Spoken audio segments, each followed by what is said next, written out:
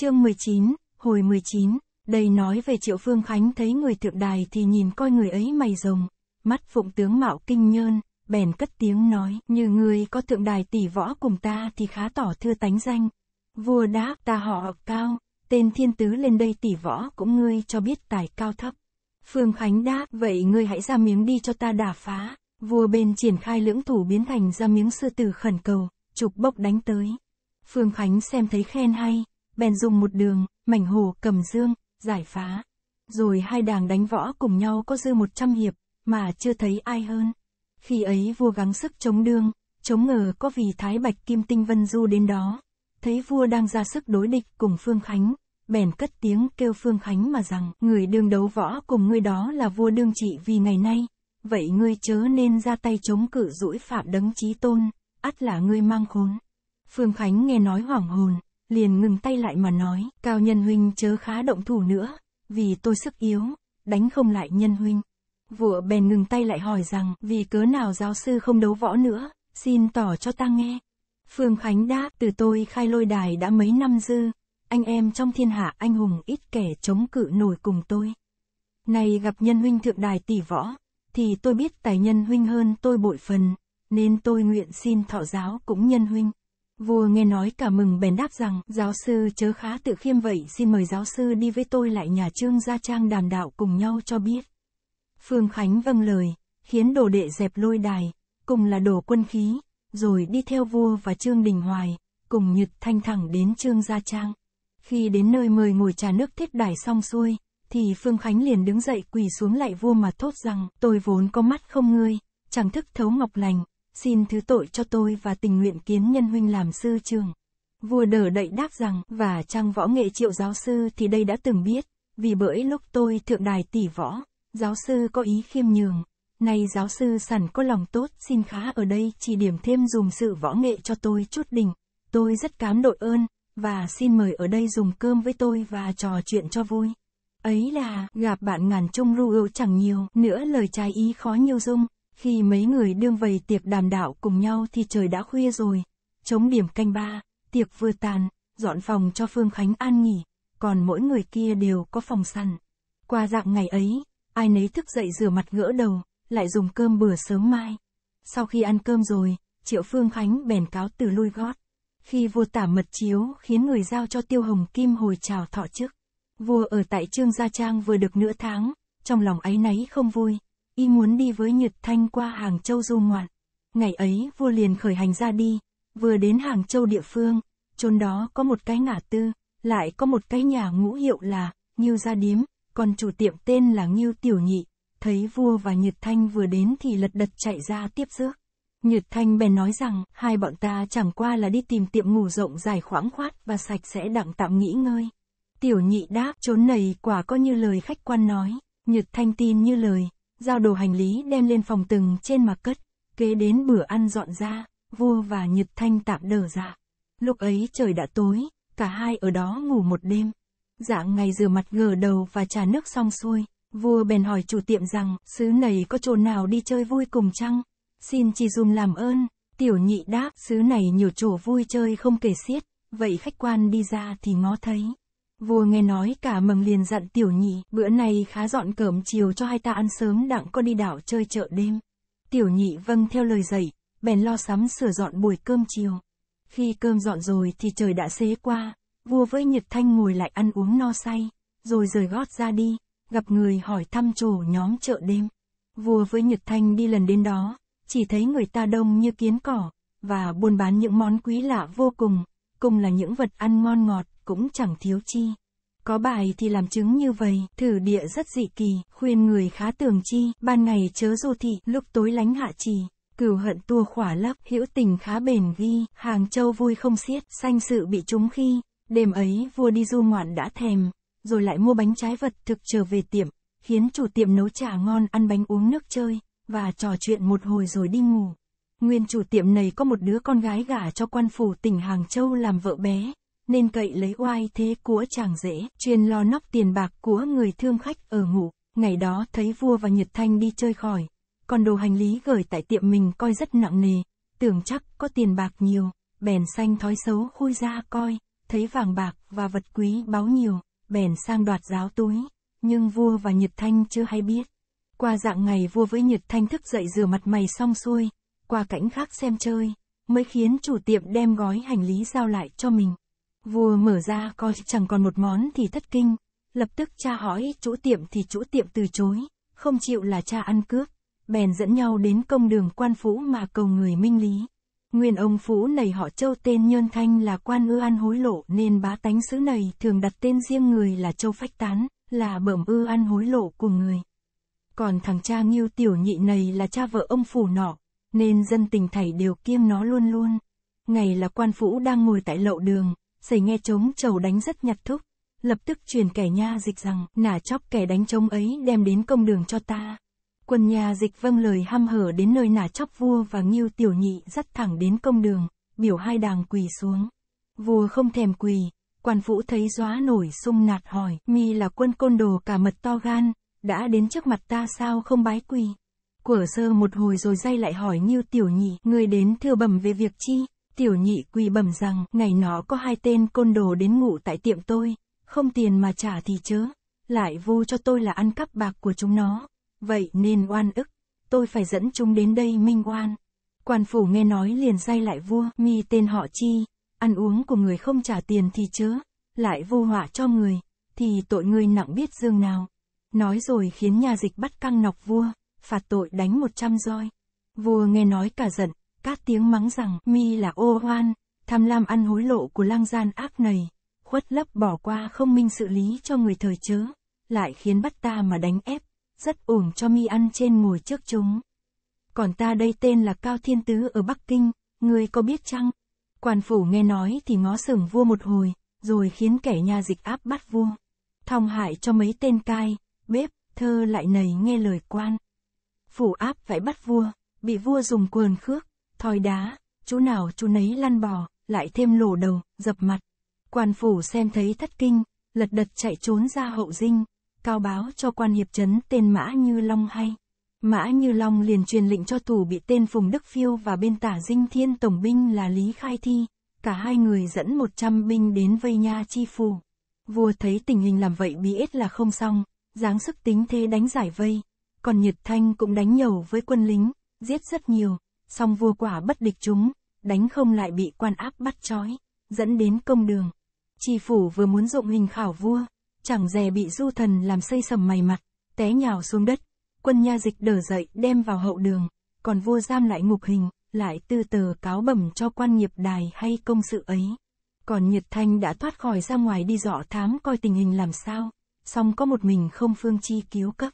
Đường lúc ấy Nhật Thanh vừa đi vừa tính, sãy gặp giáo đầu là Triệu Phương Khánh, bèn tỏ hết căn do cho Triệu Phương Khánh nghe.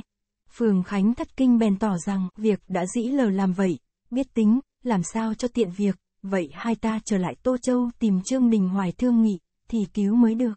Tính rồi cả hai bèn lập tức thẳng đến Tô Châu, đi đã hai ngày mới đến Trương Gia Trang, thì Nhật Thanh khóc, tỏ cho Trương Đình Hoài hay công cuộc đó, và xin Đình Hoài ra ơn lập thế ghi ái cứu một phen. Đình Hoài nghe nói hoảng hồn, bèn hỏi Phương Khánh tính mưu gì cho vẹn toàn. Phương Khánh đáp và Trăng Châu Chi Phủ và người ham ăn hối lộ lắm, chi bằng đem châu báu, vàng bạc đến lo lót với va, xin thục tội cho vua thì va sẽ tha vua ra, rồi sẽ tính kế khác lấy đồ hành lý của vua lại. Kế ấy rất nhọm lại hay, xin nhân huynh y kế ấy thi hành. Đình Hoài nghe nói vừa lòng, kế thấy trời tối, cơm nước sông xuôi rồi đi ngơi nghỉ. Qua dạng ngày Đình Hoài đi cùng Phương Khánh, Nhật Thanh, và đem vàng bạc châu báu theo.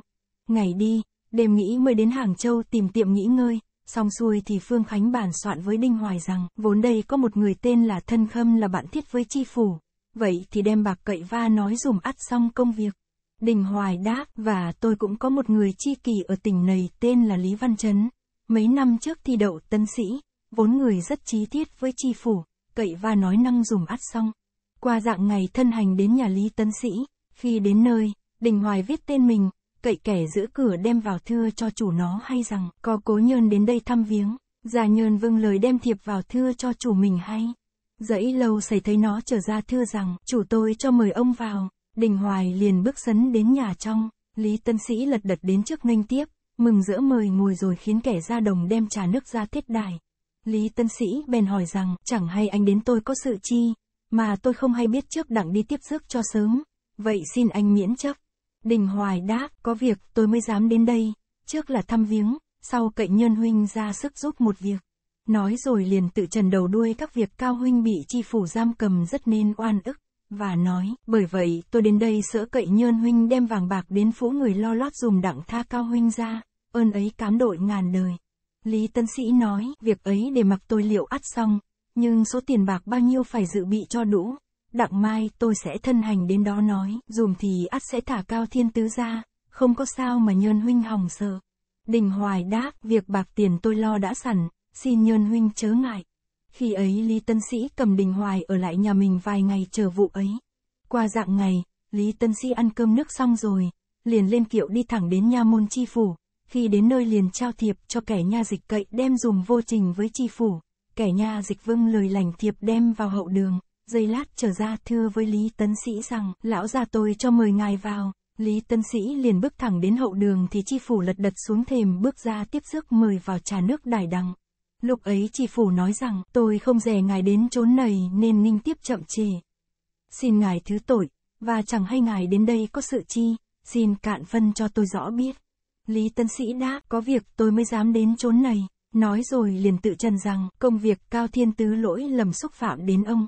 Này nó cậy người đến nói với tôi đem dưng cho ông ngươi muôn lượng mà chuộc tội cho nó. Xin ông hải hà chi độ tưởng đến tình tôi, nhậm lấy của này mà tha tội cho người một phen. Quan phủ nghe nói mừng quính, song không nói bèn kiếm lời đổ tội cho Cao Thiên Tứ là người hoành hành bạo ngược, tội ấy nan nhiêu. Nhưng nghĩ đến tình lý tân sĩ là bạn thiết nên phải y theo lời, song bạc ấy phải cho đủ số mới được. Lý tân sĩ thấy chi phủ đành chịu, bèn từ biệt trở về và hẹn mai sáng đem bạc đến. Khi Lý tấn Sĩ lên kiệu về đến nhà đi thẳng vào thơ phòng thì Đình Hoài hỏi thăm, công sự ấy tính thế nào? Lý tấn Sĩ đáp, việc ấy đã an bài, song số tiền bạc phải cho đủ mới được.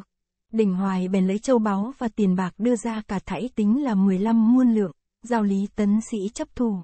Qua dạng ngày mai trời xế qua, Lý tấn Sĩ sửa soạn ra đi, thì nói với Đình Hoài phải làm tờ bảo lãnh về tội cao thiên tứ, và năm muôn lượng tiền thế chân cho mình cầm. Đình Hoài ưng chịu làm tờ ấy giao cho Lý Tân Sĩ. Lý Tân Sĩ củ bị tiền bạc lên kiệu ra đi, đi đến phủ đường, cậy kẻ nha dịch thông tin cho chi phủ hay. Chi phủ liền ra nghinh tiếp vào trò chuyện hỏi thăm bạc tiền đủ số chưa. Lý Tân Sĩ nói, việc ấy đã đủ, nên tôi đem dâng cho ông, xin ông kiểm soát lại. Chi phủ liền khiến kẻ tâm phúc xem xét lại đủ số rồi đem đi cất. Khi ấy chi phủ sai kẻ nhà dịch đến khám dẫn cao thiên tứ giao cho Lý Tấn Sĩ lành ra. Ấy là, không tiền khó nói năng cùng quỷ, có bạc khiến quỷ dễ như chơi. Lý Tân Sĩ từ biệt chi phủ, đồng lên kiệu đi với vua thẳng giết về nhà vào thẳng thơ phòng, thì Trương Đình Hoài lật đật bước ra tiếp rước, và nói với vua rằng, bấy lâu này Cao Huynh bị khốn đốn, em không hay biết đặng hòng giúp đỡ, nay hay vụ này đến đây thì đã trễ rồi, xin anh miễn chấp. Vua đáp rằng, vì qua mà nhọc đến em, khiến lòng đây xốn sang khó chịu. Nói rồi liền dây lại tạ ơn Lý Tân Sĩ có tình cứu giúp, ơn ấy ngàn đời muôn kiếp không quên. Lý Tân Sĩ đáp, việc ấy nhỏ mọn không can hệ chi mà nhơn huynh phòng ngài. Lúc ấy vua và đình hoài sợ Nhật Thanh có lòng trông đợi, bèn lật đật bái biệt Lý Tân Sĩ, Phương Khánh ra đi, đến tiệm ngũ tương hội cùng nhau. Qua dạng ngày dùng cơm nước tại tiệm, xong xuôi tính tiền trả cho tiệm rồi vầy đoàn lên đường chỉ dặm chờ về Trương Gia Trang. Khi đến nơi vua bèn bái tạ Trương Đình Hoài có tình thương xót đến mình nên mới xuất phát tiền bạc nhiều đặng cứu mình khỏi vòng lao lý. Ơn ấy khắc cốt minh tâm, song giận vì chi phù làm việc hồ đồ không minh lý, do cũng bởi nghiêu nhị sang đoạt tài vật của mình. Vua nói, vậy xin hai vị nhơn huynh kiếm kế chi hay, trước là lấy của ấy lại, sau nữa giết lũ ấy cho được, thì oán nọ mới nguôi. Xin nhị vị nhân huynh tính dùm cám đức vô cùng, còn tôi lúc này với Nhật Thanh, gấp đi du ngoạn nơi núi quan âm sơn vài bữa sẽ trở về, xin nhị vị nhân huynh ở nhà dáng lo dùng sự ấy cho kiếp. Tính rồi vua cùng Nhật Thanh từ biệt quẩy gói lên đường.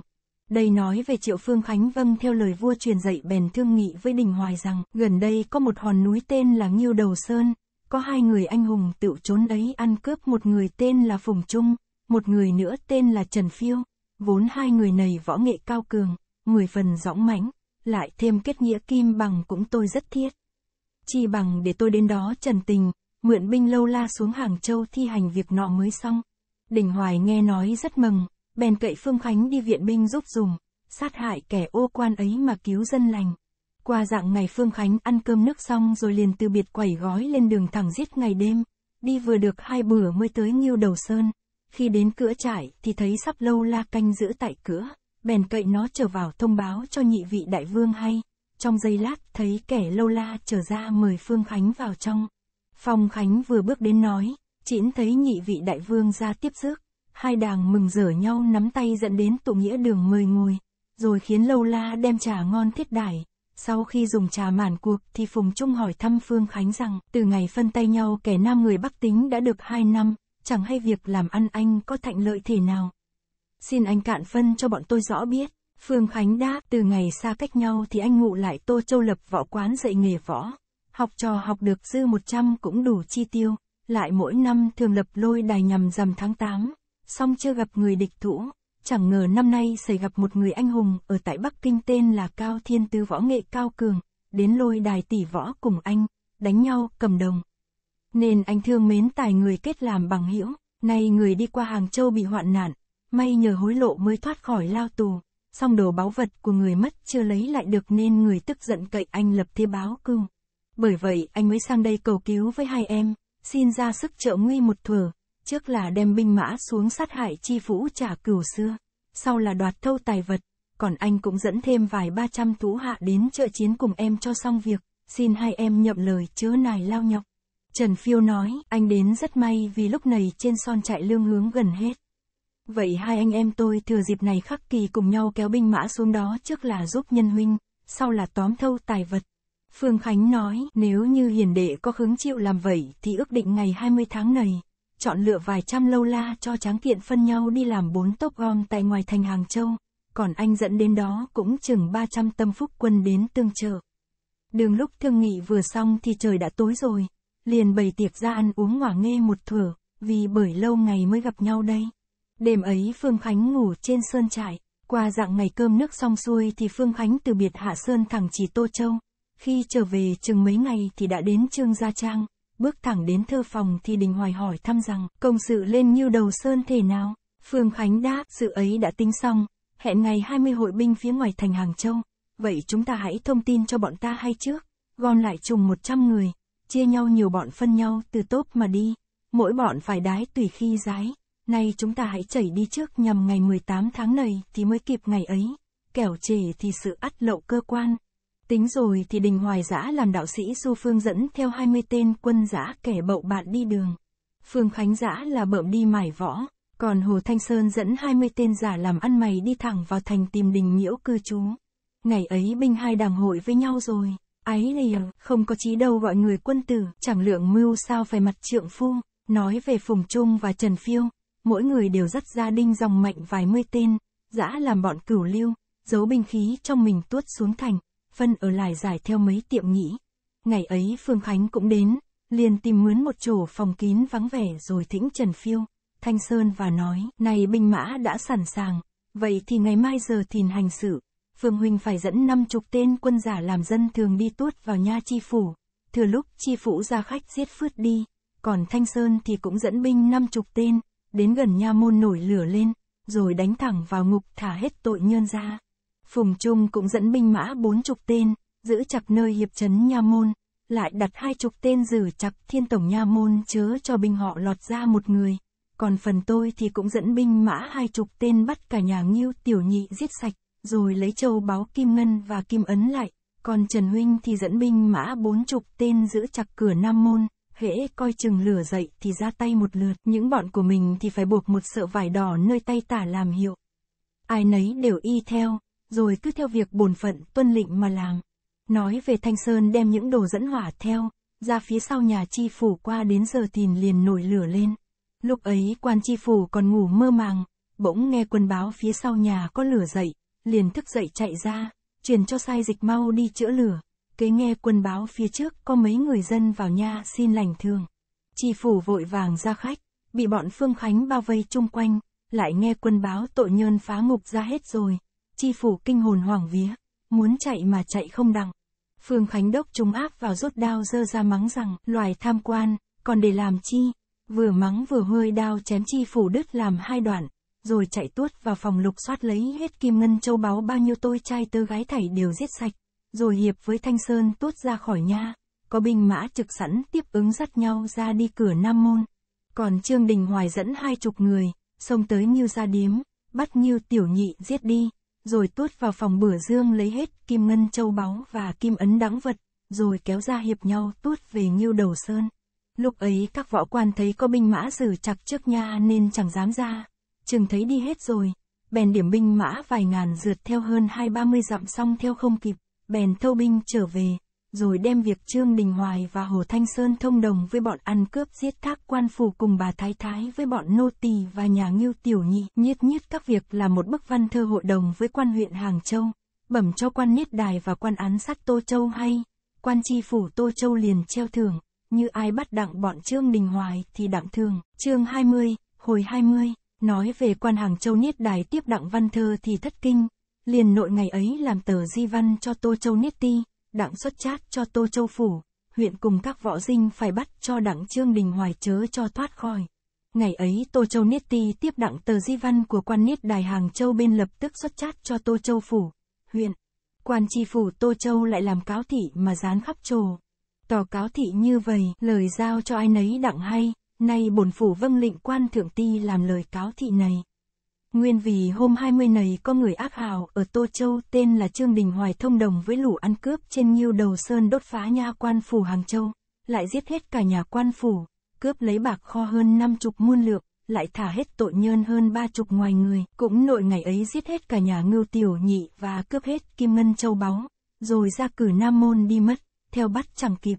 Nay có quan trên chát xuống cho bổ phủ, phê xuất hành văn cho văn võ quan viên cùng quân dân nhơn đẳng, bất kỳ là ai, hễ bắt đặng Trương Đình Hoài, thì thưởng bạc một muôn lượng, còn như bọn Triệu Phương Khánh thì thưởng năm ngăn lượng, hễ đem Phạm Nhơn đến nạp thì lãnh thưởng liền, quyết chẳng nuốt lời.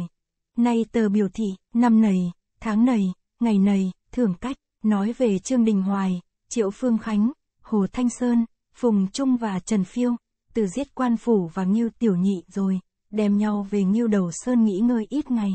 Trương Đình Hoài vì có việc nhà nên phải trở về, chẳng dè bị quân thám thính thấy đặng, về phi báo cho quan tri phủ và hiệp chấn hay, lập tức sai binh đinh mấy trăm đến vây chặt nhà Trương Đình Hoài, Gia Nhơn chạy vào phi báo rằng, này có quan binh đến vây nhà rồi, Trương Đình Hoài biết việc Hàng Châu đã lậu liền lấy thiết côn cầm nơi tay, vừa mới bước ra, gặp quan Đô Ti dẫn vài mươi tên quân tuốt vào trong nhà. Đô Ti tay cầm song đao nạt quân sốc tới vây, bị Đình Hoài hơi thiết côn đánh phá. Đánh thôi, một bọn binh đinh đứa thì bể đầu đứa thì nát óc, bị thương chẳng biết là bao nhiêu. Đô ti thấy đánh không lại, liền hối quân dùng cung tên mà bắn, có vài mươi tên quân đao bài lớp bắn, lớp lăn vào vây bắt. Lúc ấy Trương Đình Hoài tay mặt bị tên ngăn đờ chẳng nổi, phần bị dây răng vấn trơn, còn Hồ Thanh Sơn thì mắc đi khỏi, Phương Khánh thì ở trên nhiêu đầu sơn, không có giúp sức, những tráng đinh tuy có mười mấy người, mà đều là tay nhu nhược không cứu giúp đặng nên phải bị bắt. Khi Đô tì bắt được Trương Đình Hoài rồi, liền hối quân trói lại dẫn về nha nạp cho chi phủ. Ngày ấy chi phủ đang ngồi nơi hậu đường bỗng thấy quân sĩ báo rằng, nay có bồn thành lại Đô Ti đã bắt đặng còng nhơn là Trương Đình Hoài, giải đến lãnh thường. Chi phủ nghe báo bèn dậy rằng, vậy thì mi hãy ra tỉnh Đô Ti vào đây, còn Trương Đình Hoài thì giao cho sai áp giam lại rồi sẽ tra hỏi. Quân sĩ vâng lệnh ra ngoài nói lại, đồ tì bèn đem Trương Đình Hoài giao cho sai áp giữ gìn, rồi sắm sữa áo mảo, đi ngay vào hậu đường. Chi phủ bước ra nghinh tiếp, hai người vào đến khách thính, phân ngôi chủ khách mà ngồi. Chi phủ bèn nói rằng, cái công lớn ấy, lão huynh đã chiếm đặng rồi, thiệt tôi vui mừng chẳng xiết, giận vì Trương Đình Hoài là đứa hung ác, nó phạm tội lớn bằng trời, nếu chẳng có lão huynh có tài thủ đoạn làm vậy, thì khó bắt cho đặng nó, còn những bạc thường thì hiện tại nơi kho tôi sẽ chiếu theo số định mà thưởng tức thì. Lại Đô Ti nói, ấy là nhờ oai đức của triều đình và phước lớn của cộng lão gia. Chớ tôi có tài chi dám xưng, và lại Trương Đình Hoài thiệt là tay hung ác. Ban đầu tôi ỉ nó có một mình, nên khiến quân vây bắt, nó đánh bị bệnh hơn mấy mươi người. Tôi thấy vậy nên phải khiến đao bài cung tiền bắn nó bị bệnh nơi tay hữu, nên mới bắt đặng. Nếu không thì cũng khó làm chi cho nổi nó, này mày bắt đặng rồi thì đã hết lo. duy còn bọn Triệu Phương Khánh, chưa biết trốn ở xứ nào, cũng phải tìm bắt cho đặng thì mới yên cho. Vậy những bạc thưởng ấy xin cho tôi lành. Chi phủ nói, tôi xin tuân mạng, còn bọn Triệu Phương Khánh thì xin lão huynh hãy dáng ra tâm bắt cho đặng, thì tôi sẽ đem cái công lao của lão huynh mà bẩm với thượng ti, đặng chuẩn tâu với triều đình, thì lão huynh ắt đặng thăng chức. Đô ti đi ấy, nhờ ơn công tổ lão gia, chi phủ bèn khiến gia nhơn lấy bạc đem ra, đếm đũ muôn lượng giao cho đô ti. Trả nước xong rồi, lại đô ti bèn đứng dậy từ biệt chi phủ, rồi khiến binh đinh khiêng bạc về nhà, chia ra phần mình ba ngàn lượng, còn bao nhiêu thì phát cho binh đinh, những kẻ bị thương nặng thì ba chục lượng, còn những kẻ bị nhẹ thì một chục lượng, ai nấy đều lành bạc, về nhà lo thuốc thang trị thương. Khi đô ti đi rồi, tiêu chi phủ bèn sóc sửa áo mão ra ngồi nơi công án, khiến quân nha lệ dẫn Trương Đình Hoài ra. Trương Đình Hoài ra đến công đường đứng đó chớ không chịu quỳ, quan phủ nạt rằng, loài cường đạo, mi ra giữa công đường trước mặt bản phủ, sao mi không quỳ, hãy đem việc thông đồng với quân ăn cướp, giết thác quan chi phủ và nghiêu tiểu nhị, phá ngục thả tội nhơn nhất nhất khai ra cho mau, nếu trễ nải thì chẳng khỏi bị hình. Trương Đình Hoài nói, ta là người giàu có đất này, an phận thủ thường, chớ chẳng hề quen biết với bọn ăn cướp nào bao giờ, còn việc giết quan chi phủ ta cũng không biết. Nếu ngươi vu họa làm khó cho ta, thì lẻ trời ắt khó dung ngươi cho đặng. Quan phủ cả giận nạt rằng, mi thường tới lui với bọn ăn cướp, ai chẳng biết, nay có tờ di văn của quan thiết đài Hàng Châu làm bằng, mi phải khai cho mau, cho khỏi dụng hình. Trương Đình Hoài nói, ta thường ở tại nhà, chớ chẳng hề ra khỏi cửa bao giờ, hay là ngươi thấy ta có tiền, nên kiếm chuyện vu cho ta đặng có đòi đôi ba mươi muôn lượng trì chăng? Quan phủ nghe nói cả giận bèn nạt rằng, mi làm ra tội lớn bằng trời, chẳng chịu khai, lại trả lời nói bổn phủ thấy mi giàu, có nên vu cho mi mà kiếm tiền, thằng này thiệt ác, nếu chẳng đánh đòn, thì chắc nó chẳng khai. Nói rồi liền khiến quân nha lệ đè xuống đánh cho đủ một trăm roi. Hai bên nha lệ xông ra đè Trương Đình Hoài xuống, lúc ấy Trương Đình Hoài cũng muốn ra oai, nhưng vì bị trói, phần thì tay hữu đã bị thương, nên bị quân nha lệ xô té xuống đất, đánh hơn năm chục bảng. Quan phủ biểu thôi, rồi hỏi rằng, mi có khai hay không? Đình Hoài nói, đau lắm, không biết chi mà khai. Quan phủ nói, thằng này còn cứng cỏi giữa bây, đánh thêm năm chục roi nữa, coi nó ra thể nào. Quân nhà lệ lại đánh thêm năm chục bảng nữa, da rách thịt văng, máu ra lai láng, Đình Hoài nằm mê dưới đất. Lúc ấy có tên thơ lại bước ra bẩm rằng, và bị thương đã nặng rồi, không lẽ đánh nữa, xin để cho tôi khuyên va hoặc may va có khai chăng? Quan phủ nói, vậy thì ngươi hay khuyên nó thử coi. Thơ lại bèn nói với Trương Đình Hoài rằng, việc ngươi làm đó ai nấy đều biết, nếu ngươi không khai thì lão gia ắt chẳng dung đâu. Nay ngươi bị đòn đã nặng rồi, chịu nữa sao nổi, chi bằng khai đờ đi rồi sẽ liệu bề khác chẳng là hay hơn. Trương Đình Hoài nghe mấy lời thơ lại nói, thì nghĩ thầm rằng, và nói cũng phải, chi bằng ta khai đờ, bọn Triệu Phương Khánh ở ngoài có khi cũng lập kế mà cứu ta. Nghĩ rồi bèn nói với thơ lại rằng, này ta chịu hình không nổi, tình nguyện khai phứt đi cho rồi. Thơ lại nghe nói, bèn dây lại bẩm với chi phủ rằng, và chịu khai rồi, quan phủ cả mừng, bèn khiến thơ lại đem bút giấy cho Trương Đình Hoài làm tờ khai. Trương Đình Hoài viết rồi giao cho thơ lại, thơ lại tiếp dâng cho quan phủ xem, tờ khai như vậy, vì làm lời khai, tôi là Trương Đình Hoài ở tại huyện này, nguyên có một người anh em bạn, bị quan phủ Hàng Châu bắt giam ngục, nhân vì bạn tương chi, nên phải lo lót với quan phủ mà lãnh ra, sau nghe quan phủ lại lên án bắt giam lại nữa, nên tôi phải thương nghị với mấy anh em đánh vào nha môn quan phủ Hàng Châu, phá ngục thả tội ra, lại giết cả nhà quan phủ, chí như Nguyễn Tiểu Nhị đã có sang đoạt châu báu kim ngân của người anh em bạn tôi, nên tôi cũng giết luôn cho đã nư giận, lời triệt khai ngay, chẳng hề nói dối. Năm này, tháng này, ngày này, Trương Đình Hoài đứng khai, khi quan phủ xem rồi thì gật đầu mà nói rằng, khi nó khai cũng đã minh bạch, nói rồi dặn dò thơ lại, dạy theo lời khai của Trương Đình Hoài, làm ra một bức văn thơ, bẩm cho quan thượng đài rõ. Còn Trương Đình Hoài thì dạy giam vào ngục, cắt việc xong rồi, quan phủ liền lui lại hậu đường. Nói về bọn anh hùng trên nghiêu đầu sơn, ngày ấy đang ngồi đàm luận với nhau. Bỗng có tráng đinh chạy về báo rằng, lão gia ôi, không xong rồi. Tôi vâng lệnh xuống núi đi thám thính những việc Hàng Châu. Cách mấy bữa trước đây trương lão gia đã bị lại đô ti bắt giải về nha chi phủ Tô Châu. Dụng nghiêm hình tra khảo, trương lão gia đã khai ra rồi, nay còn đang giam tại ngục. Quan phủ lại ra thưởng cách cáo thị, tìm bắt bọn ta, tôi có sao tờ cáo thị đem về đây dâng cho liệt vị lão gia. Xin liệt vị lão gia liệu định, nói rồi liền dâng tờ cáo thị lên, Phùng Trung tiếp lấy trải trên bàn, anh em súng lại coi với nhau. Triệu Phương Khánh bèn hỏi Phùng Trung và Tần Phiêu rằng, việc đã như vậy, chẳng hay mấy anh em có kế chi cứu cho Đặng Đình Hoài ra khỏi ngục trăng Phùng Trung nói, tôi dẫn hết gia đình đánh nhầu vào nha chi phủ mà giật Trương Đình Hoài ra đặng trăng Phùng Khánh nói, đâu dễ như vậy, trong thành Tô Châu binh mã cường tráng, chớ chẳng phải vô dụng như lũ tham quan bên Hàng Châu vậy đâu, phải lo mưu cho hay mới xong. Này hãy cho Hồ Thanh Sơn đi với vài tên gia đình, đem nhiều tiền bạc theo tuốt xuống Tô Châu, tìm vào ngục lo với tên dử ngục đặng thông tin cho Đình Hoài hay, và để tiền bạc cho người chi dụng, rồi lại đến nhà Đình Hoài mà cho vợ con người hay, xin đừng lo sợ, anh em ta sẽ lo thế cứu ra. Phùng Trung nghe nói liền lấy một ngàn lượng bạc dòng ra cho Hồ Thanh Sơn dặn dò y theo kế ấy mà làm, rồi phải trở về báo tin cho sớm. Hồ Thanh Sơn lảnh bạc rồi dẫn vài tên gia đình lanh lợi vội vã ra đi. Chừng vài ngày xuống đến phủ thành, tìm vào đến ngục, lò lót với tên rử ngục mà tỏ ý mình.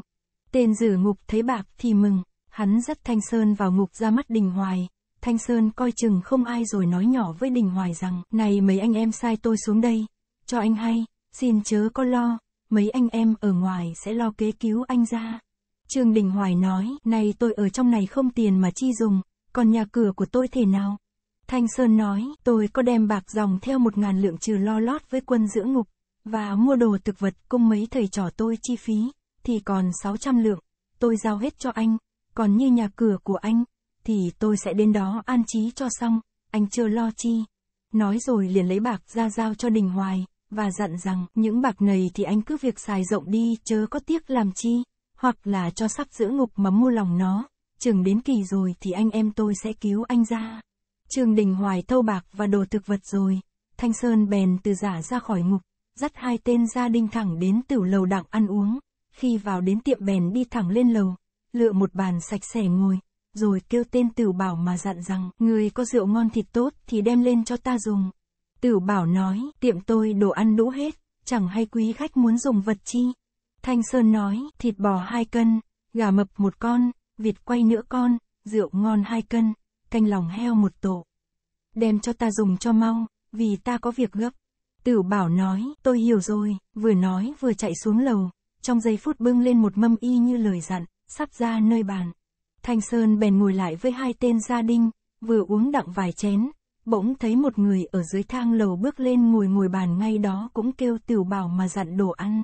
Thanh Sơn xem thấy người ấy mình cao tám thước, mặt như trùng táo.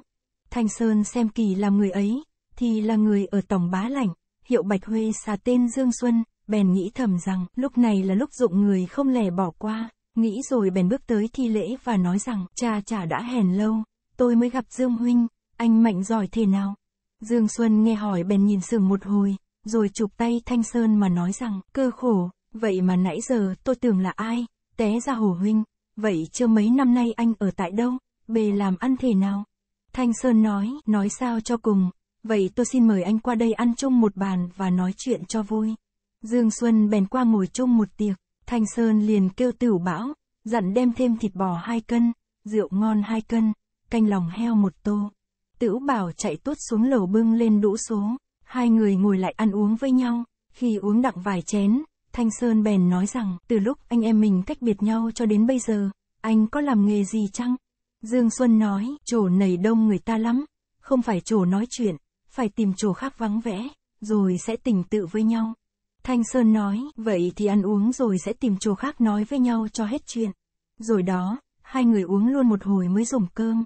Khi cơm nước xong rồi, Thanh Sơn nói nhỏ với Dương Xuân rằng, này tôi ở tại Nhiêu Đầu Sơn có một việc cần kíp, muốn nghị với dòng huynh, xin dáng sức giúp dùng, ngựa chớ này công khó nhọc, để tôi trả tiền cơm rồi sẽ qua nhà họ Trương nói chuyện một chút, rồi tôi sẽ trở về đây đi với Dương huynh. Dương Xuân nói, tôi còn đồ hành lý để tại tiệm họ Châu nơi ngoài thành cửa phía Nam Môn. Tôi trở về đó đợi anh, khi anh đi qua Trương gia mà tính việc anh xong rồi anh sẽ đến đó kiếm tôi. Hai người dặn dò nhau xong rồi, bèn xuống lầu tính trả tiền cơm rồi phân nhau ai đi đường nấy. Thanh Sơn bèn dắt hai tên gia đình thẳng đến nhà Trương Đình Hoài, bước ngay vào thơ phòng ngồi xuống và cho mời vợ Đình Hoài là Lý Thị ra nói rằng, này tôi vâng lời mấy vị anh hùng trên nghiêu Đầu Sơn đem một ngàn lượng bạc xuống đây tính việc cho Trương Huynh. Tôi đã đem đồ thực vật và mấy trăm lượng bạc vào ngục giao cho Trương Huynh chi dụng, nên phải đến đây nói cho chị hay, xin chị chớ lo, mấy anh em tôi sẽ lo mưu cứu ảnh ra. Lý Thị nói, tôi rất cảm ơn liệt vị. Thanh Sơn dặn dò các việc xong rồi liền từ biệt Lý Thị dẫn hai tên gia đình quẩy đồ hành lý thẳng ra cửa Nam Môn tìm đến tiệm họ Châu. Nhằm lúc Dương Xuân đang đứng ngóng trông, lúc thấy Thanh Sơn đi đến liền quẩy đồ hành lý, lấy gươm đeo vào, rồi hiệp nhau tuốt về nghiêu đầu Sơn.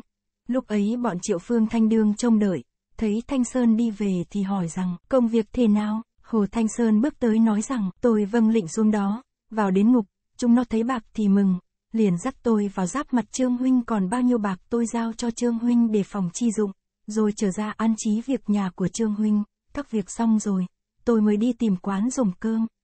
Khi đi vào tiểu lầu, tôi lại gặp Bạch Huê xà Dương Xuân, tôi có dắt theo về đây đặng thương lượng việc ấy. Mấy anh em nghe nói thấy liền mừng rỡ, liền hối Thanh Sơn ra rước vào. Thanh Sơn chạy ra nói với Dương Xuân rằng, mấy anh em cho mời anh vào. Dương Xuân liền theo Thanh Sơn vào, ra mắt mọi người. Triệu Phương Khánh hỏi rằng, mấy năm xa nhau đã lâu, lúc này hiền đệ thể nào? Dương Xuân nói, từ ngày cách biệt hai anh đến nay, lưu lạc giang hồ đã gần hai năm. Mới năm ngoái đây tôi về ký ngụ lại Thái Hồ. Kết bạn rất nhiều, bề thế bây giờ khá hơn khi trước. Còn nhân huynh ở đây làm ăn nghề chi, xin nói cho tôi rõ với. Triệu Phương Khánh nói, từ ngày phân biệt nhau rồi thì anh dạo chơi khắp xứ, gặp việc cũng nhiều. Bèn đem hết đầu đuôi các việc, và việc Trương Đình Hoài thưa lại một hồi, rồi lại nói rằng, này may mà gặp hiền đệ đây, vậy xin bày mưu chi cứu cho Đình Hoài ra khỏi. Dương Xuân nghe nói ngẫm nghĩ một hồi rồi đứng dậy đáp rằng, việc như vậy thì phải giấy binh đánh thẳng vào ngục mà cướp Đình Hoài, ấy là trước hay. Phùng Huynh dẫn binh mã 100, Triệu Huynh dẫn binh mã 100, tôi cũng trở về Thái Hồ dắt binh mã 100, qua đây hiệp nhau khởi sự, thì việc ắt xong. Triệu Phương Khánh nói, kế ấy rất hay, vậy thì Trần Huynh phải dẫn binh mã 100 ở nơi ngoài thành Tô Châu, cách chừng hai dặm mai phục nơi ngoài cửa Nam Môn, chờ cho bế thành, hễ nghe súng nổ, thì cũng phải ảo ra tiếp ứng. Tôi và Hồ Huynh cũng dẫn binh mã 200, ở phía trong cửa Nam Môn, mai phục các chỗ, hễ thấy các nhà môn có binh ra, thì phải đánh cho chúng nó lui lại, bằng không thì thôi, cứ việc mai phục đừng ra. Dương Huynh và Thanh Sơn dẫn binh mã 100 đánh tuốt vào ngục mà cướp đình hoài ra. Rồi tôi sẽ đánh thẳng vào phủ đường giết phứt chi phủ, hạn trong tháng này ngày 18, giờ thìn thì giấy việc. Trước khi giấy việc thì Thanh Sơn phải đem rượu mà vào ngục mà dụ quân giữ ngục uống cho say mê rồi sẽ ra tay. thường nghị xong rồi chờ cho đến kỳ mà giấy việc. Đêm ấy Dương Xuân nghỉ ngơi tại đó, sáng ra, bữa sau dùng cơm lót lòng rồi, từ biệt mấy anh em tuốt về nhà. Khi Dương Xuân đi rồi, mấy anh em dặn dò Hồ Thanh Sơn rằng, người hãy đem 200 lượng bạc, và một gói thuốc mê tuốt xuống Tô Châu, vào ngục thương nghị với Đình Hoài, cứ theo cái ấy mà làm, chớ nên sơ lậu, việc ấy là việc trí yếu phải cẩn thận cho lắm. Thanh Sơn lãnh mạng, dắt hai tên gia đình ra đi, nhằm Tô Châu tấn phát. Đi chừng vài ngày xuống đến Tô Châu, ba người tìm quán nghỉ ngơi, qua bữa sau dùng cơm lót lòng xong xuôi bèn đi vào ngục ra mắt Đình Hoài đem hết các việc như vậy nói nhỏ với Đinh Hoài, rồi từ giả lui ra trở về trổ ngụ, chờ cho đến kỳ hành sự. Lần hồi ngày lụn tháng qua như bay, bóng thiểu quang qua như thoi chờ. Đến ngày mồng 10 tháng 8, gần tiết trung thu, thiên hạ lăng xăng lo mua trả bánh khánh thưởng tiết lành, ấy là lệ thường năm nào cũng vậy. Nói về Dương Xuân từ biệt mấy anh em rồi, tuốt về Thái Hồ. Mấy tên đầu mục chạy ra nghinh tiếp, Dương Xuân bèn hỏi rằng, nhị vị đại vương ở tại trại nào? Mấy tên tên đầu mục đáp rằng, nhị vị đại vương đều ở nơi đại trại. Dương Xuân nghe nói, bèn khiến Lâu La dọn một chiếc thuyền nhỏ đi qua đại trại. Khi đến nơi bèn bước lên bờ đi thẳng tới trước tụ thắng đường. Nguyên hai vị đại vương ấy, một người tên là Châu Giang, còn một người tên là Trương Văn Chiêu. Ngày nọ đang ngồi trong nghiêu bì trướng, nghe nói Dương Xuân đã về bèn bước ra nghinh tiếp, và hỏi rằng, chẳng hay đại ca đi thám thính trong thành Tô Châu sự thể Dương nào. Dòng Xuân đáp, sự thể tốt lắm, này có một cuộc buôn bán rất lớn, nên anh phải về đây thương nghị với hai em. Bèn đem hết, nhưng việc gặp Thanh Sơn dắt về nghiêu đầu Sơn ra mắt mấy vị anh hùng thương nghị đi cướp nghe thuật lại một hồi. Châu Giang lại hai việc như vậy đại ca liệu thể nào? Dương Xuân đáp rằng, anh ở tại Nghiêu Đầu Sơn đã ước định với mấy vị anh hùng ấy rồi. Này bọn anh em ta phải giấy binh 200 hạn trong tháng này ngày 16 giờ tìm giấy việc. Vậy thì đến ngày 12, 13 này phải khởi hành, anh với em dẫn binh ra đi còn tam đệ thì ở nhà giữ trại. Châu Giang nói, vậy thì hay lắm, xong ngày giờ cũng đã cận rồi, phải chọn binh mã dòng mạnh sắm sửa cho kịp kỳ. Dương Xuân liền truyền lệnh cho mấy tên đầu mục, coi chọn 200 lâu la cho mạnh mẽ và thao luyện cho thuần thục, rồi kéo hết ra tôi. Nói về bọn Nhiêu Đầu Sơn cũng lo chọn binh dòng 200. Triệu Phương Khánh dẫn hết một bọn đồ đệ đến kéo đi một lượt nhắm Tô Châu tấn phát. Khi ấy Dương Xuân và Châu Giang đã đến Tô Châu, ở nơi ngoài thành cách chừng 10 dặm hạ trại. Chưa đầy nữa ngày binh mã Nghiêu Đầu Sơn cũng đến, hai đảng bèn hội nhau lại thương nghị. Ngày ấy là ngày 13, Dương Xuân xem thấy binh mã tụ đến đủ rồi, bèn nói với mấy vị anh hùng rằng, này hạn kỳ đã gần đến, vậy thì mấy anh em hãy tính lẻ nào. Ai nấy đều nói, cứ y theo lời nghị hôm trước mà làm thì xong. Dương Xuân bèn nói với Triệu Phương Khánh rằng, Triệu Huynh hãy coi mà điều khiển binh mã cho đặng vẹn toàn. Triệu Phương Khánh nói với Dương Xuân rằng, em hãy đi với Thanh Sơn đến nhà Đình Hoài, biểu nội nhà phải thâu góp những đồ tế nhuyễn rồi trở hết lên nghiêu đầu Sơn mà ở, lại khiến Thanh Sơn ngày ấy dắt đường cho em vào ngục, còn Châu Đại Vương thì dẫn 150 binh mã vào ngục cứu Đình Hoài ra, còn Trần Huynh dẫn 100 binh mã mai phục cách thành chừng hai dặm. Còn Phùng Huynh cũng dẫn binh mã 100 ở nơi ngoài thành Tô Châu mai phục, hễ nghe súng nổ thì ảo ra tiếp ứng, hễ đến ngày rằm giờ thân thì vào thành chớ nên lầm việc. Ai nấy đều tuân lệnh cứ theo thứ lớp mà đi. Ngày ấy Thanh Sơn đang ở trong tiệm kêu hai tên gia đình dặn rằng, này đã 14 tháng 8 rồi, hai người hãy đi dọ coi hai sứ binh mã đã đến chưa, mi phải về báo cho ta hay. Gia đình lành mạng đi liền, Thanh Sơn sai gia đình đi rồi, thì cũng sắm sửa mua trà bánh đem vào trong ngục nói với mấy tên rửa ngục rằng, anh tôi là Trương Đình Hoài ở tại trong này, nhờ có mấy anh thương tưởng, thiệt tôi không biết lấy chi báo đáp. Vậy đến mai này là tiết trung thu nên tôi phải đem cho mấy anh 100 cân bánh và hai chục lượng bạc, để thưởng tiết lành, xin mấy anh tạm dùng lấy thảo. Vừa nói vừa đưa bánh cùng bạc ra, mấy tên rửa ngục mừng dở bội phần liền ngửa tay thọ lành và nói rằng, thiệt anh có lòng tốt quá, anh em tôi không biết lấy chi đáp lại. Thanh Sơn nói, lễ hèn chút đỉnh có đủ chi mà cảm tạ. Nói rồi liền bước vào ngục nói với Đình Hoài rằng, tôi đã đem rượu và bánh mứt cho mấy vị nhân huynh rồi. Vậy thì ngày mai anh hãy ăn uống chơi với mấy anh em đặng giải muộn. Nói rồi lại coi chừng mấy tên quân đi ra ngoài, liền bảo nói nhỏ với Đình Hoài rằng, ngày mai anh hãy cứ y như vậy, như vậy, mà làm. Trương Đình Hoài gật đầu, Thanh Sơn liền từ giả trở ra về chỗ ngụ thì thấy hai tên Gia Đinh và Dương Xuân đang chờ sẵn đó. Thanh Sơn bèn hỏi rằng, sự thế dường nào? Dương Xuân nói, Bình mã ta đến rồi, ngày mai giờ thân thì vào thành, những công việc phần anh thì phải sắp đặt cho rồi đi. Qua bữa 16 giờ thìn thì phải ở tại tiệm đây mà chờ tôi đến, rồi dắt đường cho tôi vào ngục đặng có ra tay. Nay anh phải đi đến nhà Trương Đình Hoài biểu nội nhà phải góp đồ tế nhuyễn rồi chuyển lần ra ngoài thành, sẽ có người tiếp ứng.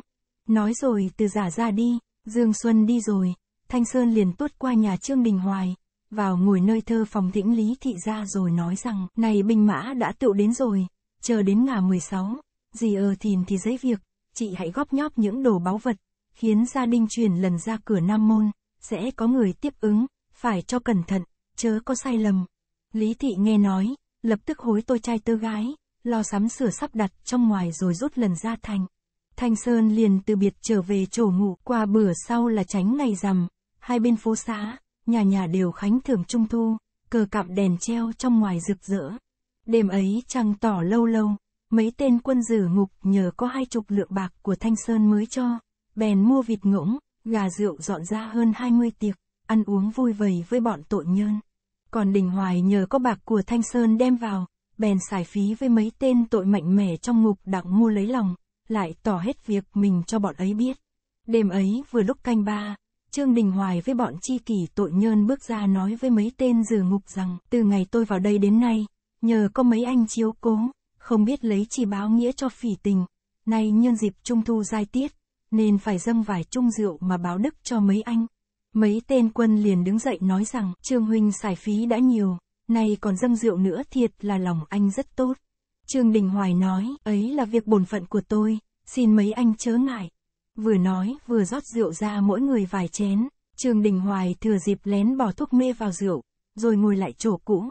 Mấy tên quân dử ngục thấy vậy bèn nói với nhau rằng, bọn ta lính coi ngục đã gần vài mươi năm rồi, tù tội cũng nhiều mà chưa hề thấy có ai sơ tài trượng nghĩa như Trương Đình Hoài làm vậy, hèn chi mà va làm việc cả thể như vậy mới đặng. Thôi, đêm nay nhớ có va hậu tình thế nấy, thì anh em ta cứ việc uống vui mà chơi, sáng ra sẽ lo việc bổn phận.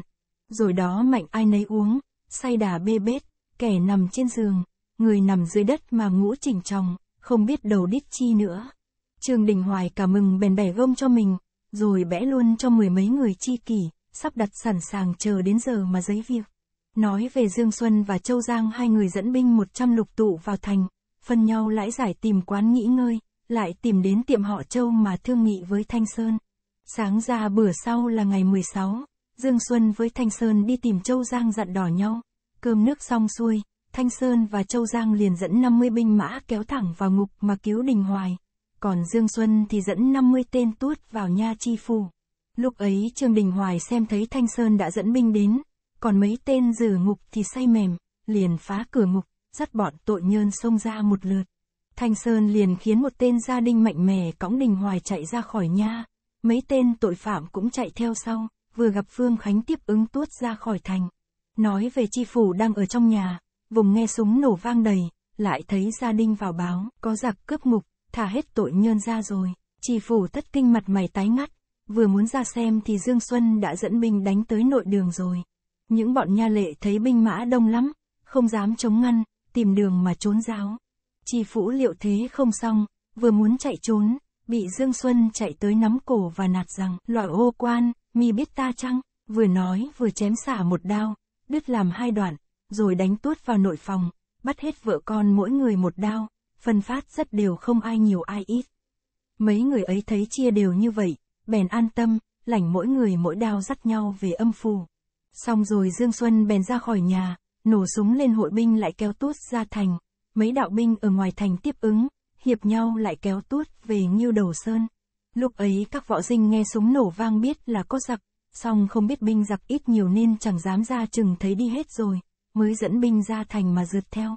Nói về bọn anh hùng khi ra khỏi binh rồi, thì để cho Dương Xuân bảo hộ Đình Hoài đi trước, còn Triệu Phương Khánh với mấy anh em thì đoạn hầu, khi đang đi, thì thấy phía sau bụi bay mịt trời. Triệu Phương Khánh bèn nói với Trần Phiêu và Phùng Trung rằng, ấy chắc có quan binh đuổi theo, vậy thì phải đánh họ một trận, cho họ biết bọn ta lợi hại. Phùng Trung nói, tôi xin tuân lệnh, song chẳng biết làm kế nào. Phương Khánh nói, Phùng Huynh phải dẫn binh mã mai phục nơi chân núi phía tả, chờ cho binh họ qua khỏi rồi, sẽ xông ra trận. Phùng Trung lãnh lệnh dẫn binh đi liền.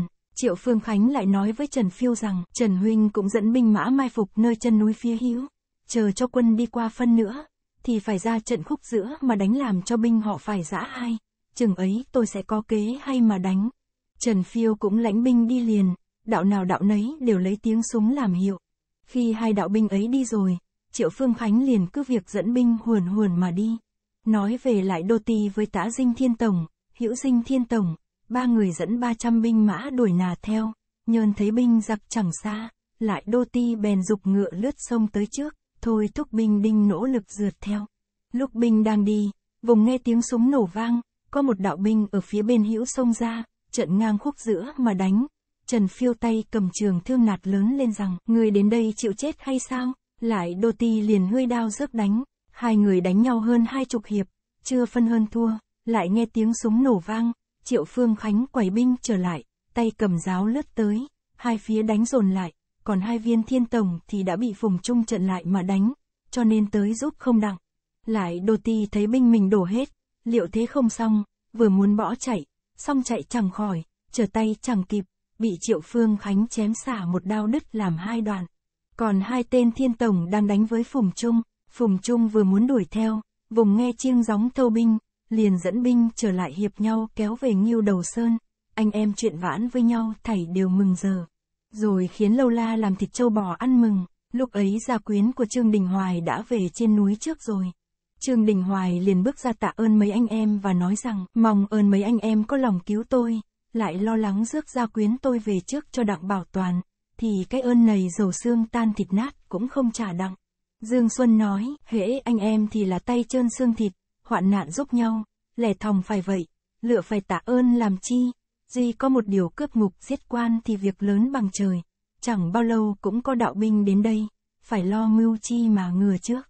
Phùng Trung nói, duy nhờ Dương Huynh và Triệu Huynh liệu định, Dương Xuân nói, phải sai người xuống núi tham thính rồi sẽ thương nghị, như có quan binh tiến nữa thì phải dụng kế đánh họ một trận, rồi sẽ kéo hết binh mã rời qua Thái Hồ mà tụ nghĩa với nhau, vì tại đó bút mã đặng năm ngàn, lương thảo cũng đủ dùng trong vài ba năm, nay phải đem hết gia quyến cùng châu báu tiền bạc qua đó trước đã, chẳng hay liệt vị tưởng ra thế nào.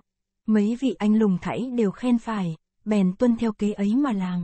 Nói về hai vị thiên tổng dẫn binh chạy về Tô Châu, vào đến giáo trường điểm tra quân sĩ lại thì chết hết 78 tên, còn bị bệnh chẳng biết bao nhiêu, sai người dọ coi mới biết bọn ấy ở tại Nhiêu Đầu Sơn, liền vội vã chạy tờ bẩm cho quan hiệp trấn và cho quan niết đài hay, xin hỏa tốc phát binh tiêu diệt, và trừ hậu hoạn.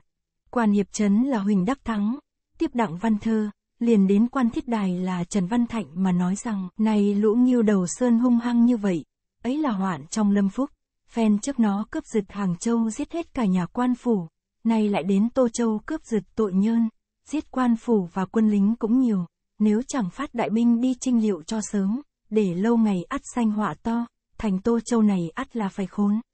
Xin đại nhân hãy nghĩ lấy, Trần Niết Đài nói, bổn ti có nghe thánh thượng cải tên đổi họ đi du ngoạn khắp xứ Giang Nam, tìm kiếm hiền tài, tham cách những tham quan ô lại chẳng biết là bao nhiêu.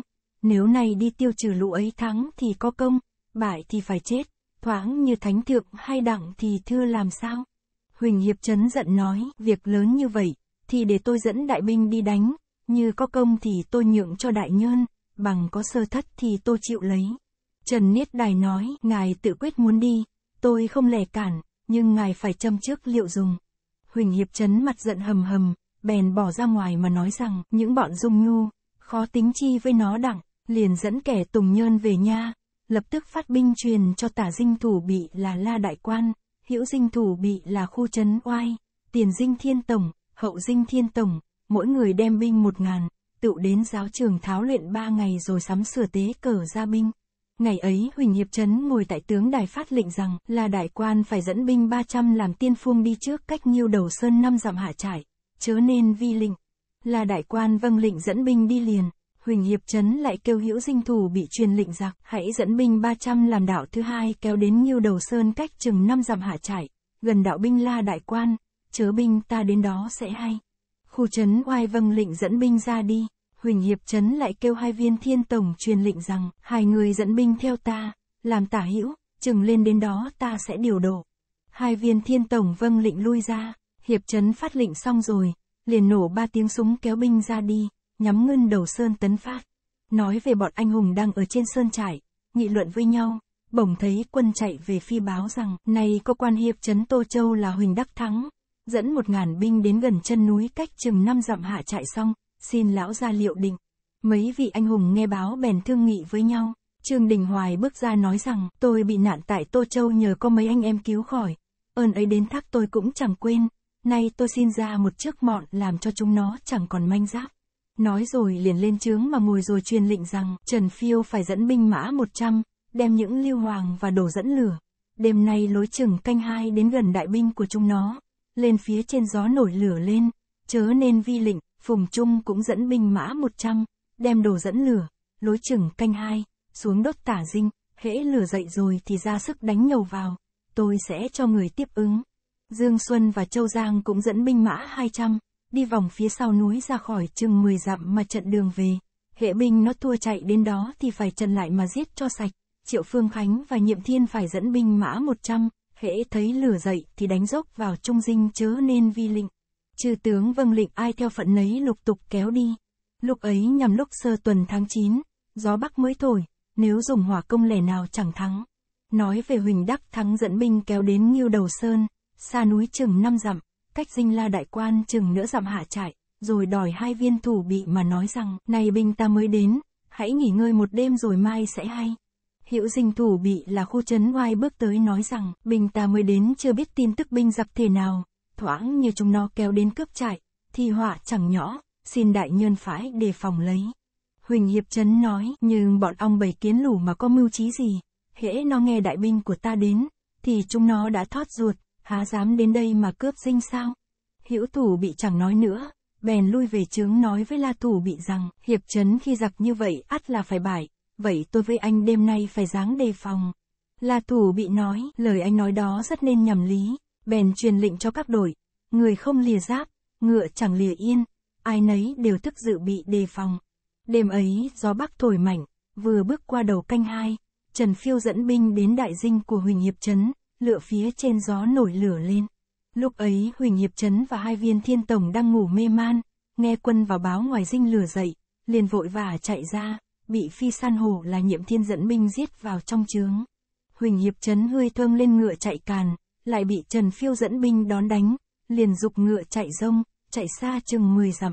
Có một đạo binh là Dương Xuân và Châu Giang xông ra đón lại, Huỳnh Hiệp Trấn gắng gượng mà đánh, chưa đầy vài hiệp trong lòng rối loạn, khí lực đã suy, bị Dương Xuân chém xả một đao, đầu rơi xuống đất, còn bao nhiêu quân sĩ thấy đều cúi đầu xin dung mạng. Dương Xuân thấy vậy chẳng nở giết bèn tha về hết rồi thâu binh trở lại.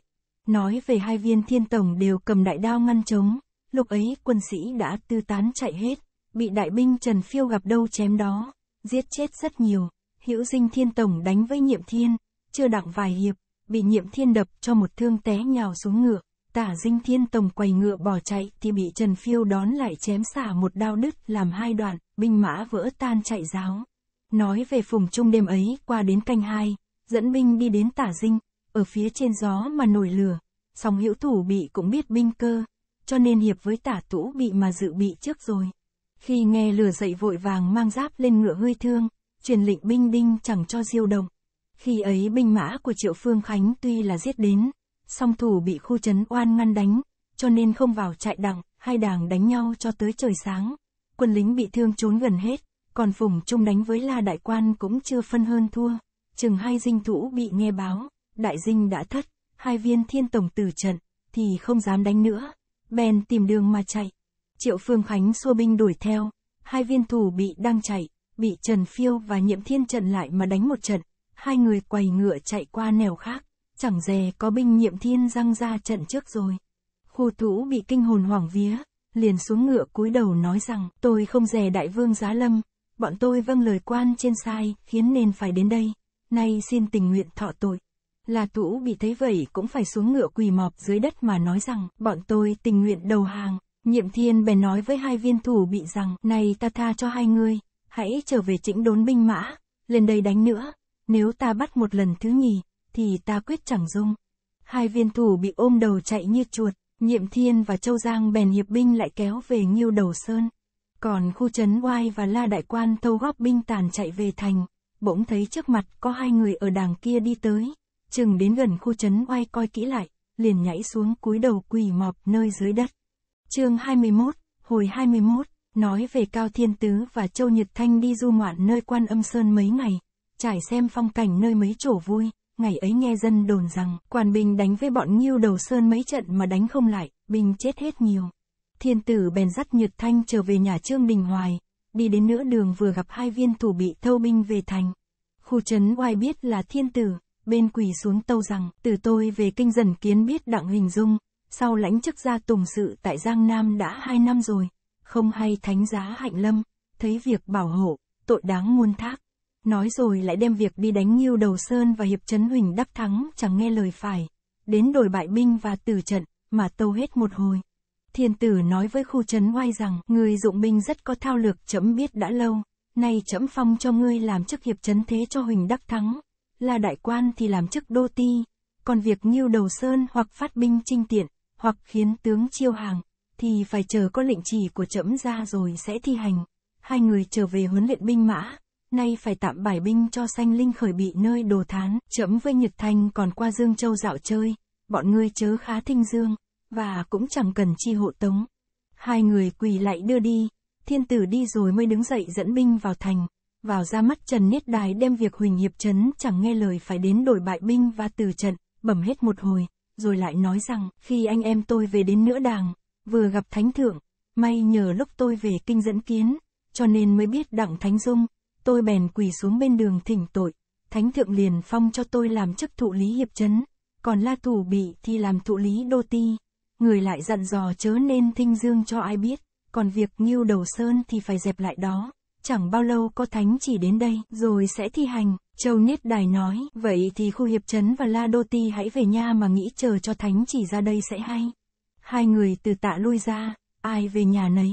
Ngày ấy quan tuần phủ Giang Tô là Trang Hữu công tiếp đặng một tờ mật, chỉ dạy đem bọn giặc Nhiêu Đầu Sơn và Thái Hồ phân tán ra, cho về theo nông nghiệp, còn những mấy tay tướng tài, võ nghệ siêu quần, thì soạn danh mà cử dụng. Trang Hữu công liền tuân chỉ thi hành, bèn đem bọn Trương Đình Hoài, Dương Xuân, Triệu Phương Khánh, Phùng Trung, Trần Phiêu, Nhiệm Thiên, Châu Giang, Hồ Thanh Sơn, và Trương Văn Chiêu, đẳng đẳng thầy đều bảo cử.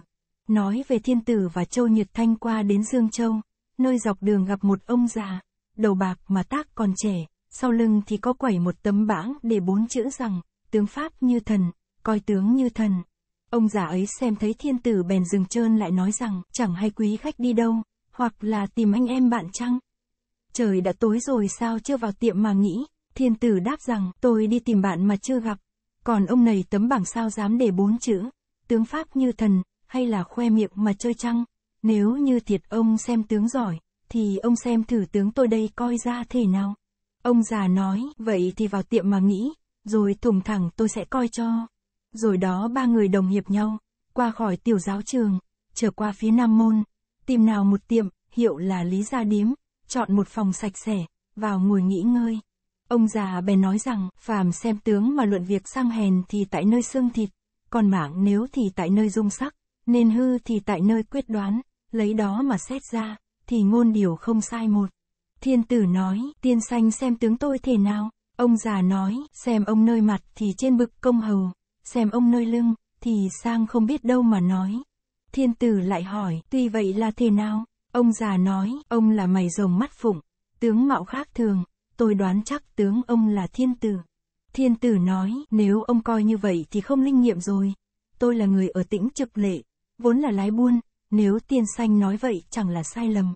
Ông già nói, nếu ông quả là dân bình thường thì tôi phải đập bể tấm bảng của tôi đi. Quyết không biết tiếc, ông xưa dày đã bị nhiều phen hung hiểm, mạng lớn trùng trùng, may nhờ có tả phụ hữu bật, cho nên nguy mà lại an, hiện bây giờ đây thì ấn đường sáng sủa, giữ đi lành tới, rất mừng, rất mừng. Nói rồi bèn say lại coi tướng Nhiệt Thanh, coi rồi lại nói rằng, cậu này mi thanh mục tú, tuổi nhỏ mà đã đắc rồi, lại thêm hai bên ấn đường cũng là sáng suốt, ắt có sự mừng gần tới, nội ngày nay chắc gặp tin hôn nhân. Thiên tử cười ngất lên rằng, hai cha con tôi đang lúc giữa đường, có lẽ đâu gặp cuộc ấy, ông khéo nói lếu thì thôi. Ông già nói, nếu như vậy thì tôi coi sao đặng, nói rồi liền bỏ ra đi, chẳng thèm từ biệt chi hết. Nguyên ông già này là Lữ Thuần Dương lão tổ, vì thấy thiên tử ghe phen gặp nạn, nên giả đến chỉ điểm một phen. Khi ông già ấy đi rồi, Thiên tử bèn nghĩ rằng, ông già này không phải là người thường, công việc của ta ông đã biết hết. Ông lại nói nội ngày nay sẽ có tin hôn nhân, để ta coi quả có hay chăng? Khi chủ tiệm là Lý Thái Công đem cơm vào phòng, rồi lại nói rằng, cách đây chừng năm dặm có một nhà họ xài, xài viên ngoại lại có một người con gái đương kén chồng, và ra đề thơ như ai làm đẳng thì va gã con cho, nhị vị khách quan sao không đến đó làm thử chơi, hoặc may đẳng cũng không biết chừng, đến ngày rằm tháng này thì khai cuộc. Thiên tử nghe nói bèn đáp rằng, vậy thì đến kỳ tôi cũng đi coi chơi. Qua đến ngày rằm, thiên tử bèn dắt Châu Nhược Thanh tìm đến xài gia trang, quả thấy lầu cao rực rỡ, những trai tơ tựu đến đông dày. Lúc ấy thể loan tiểu thơ, tuổi vừa 18, môi son má phấn, mắt phụng mày ngài, hình dung bế nguyệt tu hoa, nhan sắc ngư trầm lạc nhạn. Ngày nọ vâng mảng cha lên trồ thể lầu ra một câu đối, trao cho A Hườn đem xuống nói với mấy vị thi ông rằng, này tiểu thơ tôi ra một câu đối này, trong liệt vị như ai đối cho thông, ngâm cho thông, thì đặng chiêu thân. Ai này đều lấy câu đối ấy xem, câu đối như vậy, bạch diện thơ xanh, trong bụng không tài đừng tưởng quý. Lúc ấy ai nấy đều cúi đầu suy nghĩ, song chẳng ai đối cho đặng thông. Thiên tử thấy vậy mỉm cười, bèn dậy nhật thanh rằng, hồng nhan nữ tử, bên hông có vật ngạo anh hiền. Nhật Thanh bèn lấy viết viết ra, rồi trao cho A Hườn đem dưng cho tiểu thơ. Tiểu thơ xem thấy cả mừng, bỗng nhiên thấy có một con thiềm thử nhảy trên mặt đất. Tiểu thơ bèn rút cây châm đâm chết, rồi khiến A Hườn đem ra dâng cho mấy vị thi ông, xin lấy đó làm đề. mỗi người đều làm một bài thơ, ai nấy cũng làm chưa đặng. Thiên tử làm thế cho Nhật Thanh một bài tứ tuyệt như vậy, thiềm thử vật nọ hởi đi đâu, nên nổi châm kia sắn trúng đầu, vì bởi khi xưa ăn giả nguyệt, ngày nay nàng tố báo oan cừu, Nhật Thanh liền viết ra rồi giao cho A huyền đem dâng cho tiểu thơ. Tiểu thơ ngâm tụng một hồi rồi khen rằng, thiệt quả là tài tử, liền khiến A huyền đem dâng cho viên ngoại xem, rồi trở về phòng. Còn mấy vị kia thấy tiểu thơ chấm lấy bài thơ của Nhật Thanh rồi thì biết mình không có phận, nên dắt nhau về hết. Khi viên ngoại xem rồi bèn hỏi A Huần rằng, bài thơ này cô mi chấm đậu thứ nhất hay sao? A Huần thưa, phải, viên ngoại bèn cho thỉnh thiên tử và Nhật Thanh vào đến thính đường, phân môi chủ khách mời ngồi, rồi ết ết ra đồng dọn trà thiết đài. Trà nước xong rồi, viên ngoại bèn hỏi rằng, chẳng hay nhơn huynh tên họ là chi, người ở xứ nào, xin nói cho tôi biết. Này con gái tôi có phước đặng sánh với hiền lang, thiệt là hay lắm. Thiên tử đáp tôi là người ở kinh đô, họ cao tên thiên tứ, con nuôi tôi là Châu Nhật Thanh, học hành còn thưa thớt, may đặng chọn vào làm dễ. Tôi cũng hổ thầm, nay mong ơn viên ngoại chẳng bỏ. Vậy thì tôi phải chọn ngày nạp sánh lễ cho con tôi. Nói rồi liền từ biệt xài viên ngoại, dắt Nhật Thanh trở về chỗ ngủ, lấy tiền ra trao cho chủ tiệm, cậy vào thành mua dùng những bánh trái và các lễ vật, rồi cho người khiêng đến xài gia trang. Xài viên ngoại tiếp đặng lễ vật rồi, liền khiến gia đình bày tiệc mời hết bà con họ hàng đến vui vầy một tiệc, ăn uống đến khuya mới tan. Cách chừng năm ngày đã đến giai kỳ, thiên tử bèn sắm vật làm lễ thân nghinh, mướn người khiêng đi vì khiến Nhật Thanh đưa lễ vật qua nhà xài viên ngoại rồi nội đêm ấy làm lễ thành hôn. Vợ chồng bèn lại trời đất, lại viên ngoại rồi dắt nhau vào trốn động phòng, A Hờn đã dọn tiệc huê trúc trong phòng sàn rồi. Hai người bèn đâu chén uống với nhau, gọi là giao bôi. Xong rồi tiểu thơ lại nói với Nhật Thanh rằng, tôi xin ra một câu đối nữa, như chàng đối đặng thông thì mới đặng bắt tay. Nhật Thanh nói, nàng muốn ra câu chi thì ra đi. Tiểu thơ liền viết ra một câu đối như vậy, hảo mạo hảo tài trơn khả ái. Châu Nhật Thanh ngẫm nghĩ một hồi, rồi đối lại rằng, đồng khâm đồng trầm mạc hiềm bần, thích nghĩa ra nôm như vậy, tốt mạo tốt tài nên đáng kính, trung mền trung gối chớ chê nghèo. Thể loan tiểu thơ xem rồi khen rằng, thiệt rõ ràng là bực tài lang, nói rồi hai người bèn thay đổi y phục mà vầy cuộc gió trăng với nhau. Đêm ấy loan điên phục đảo vui chẳng hay cùng, và lại trong đời có đêm nào vui cho bằng đêm động phòng huê trúc, ấy là lẻ thường, ai ai cũng biết. Sáng ra bữa sau, hai vợ chồng đều thức dậy rửa mặt mày xong rồi, bèn dắt nhau ra lại viên ngoại. Viên ngoại nói với Nhật Thanh rằng, hiền tế tài cao bắt đầu, thi phú đều hay, con gái lão mà đặng sánh đôi, thiệt là may lắm. Nhật Thanh nói, tiểu tế tài thường, nhạc gia khen chi quá, viên ngoại lại hỏi, chẳng hãy mấy bữa giày tôn đại nhân ở ngụ tại đâu? Nhật Thanh nói, cha tôi ngụ tại tiệm lý gia, viên ngoại nói, này đã thành xui ra rồi, nhà này cũng rộng rãi, vậy thì thỉnh lịnh tôn về đây mà ở, chẳng là tiện hơn, lại hôm sớm đặng chuyện vàn với nhau, chẳng hay hiền tế ý ra thế nào.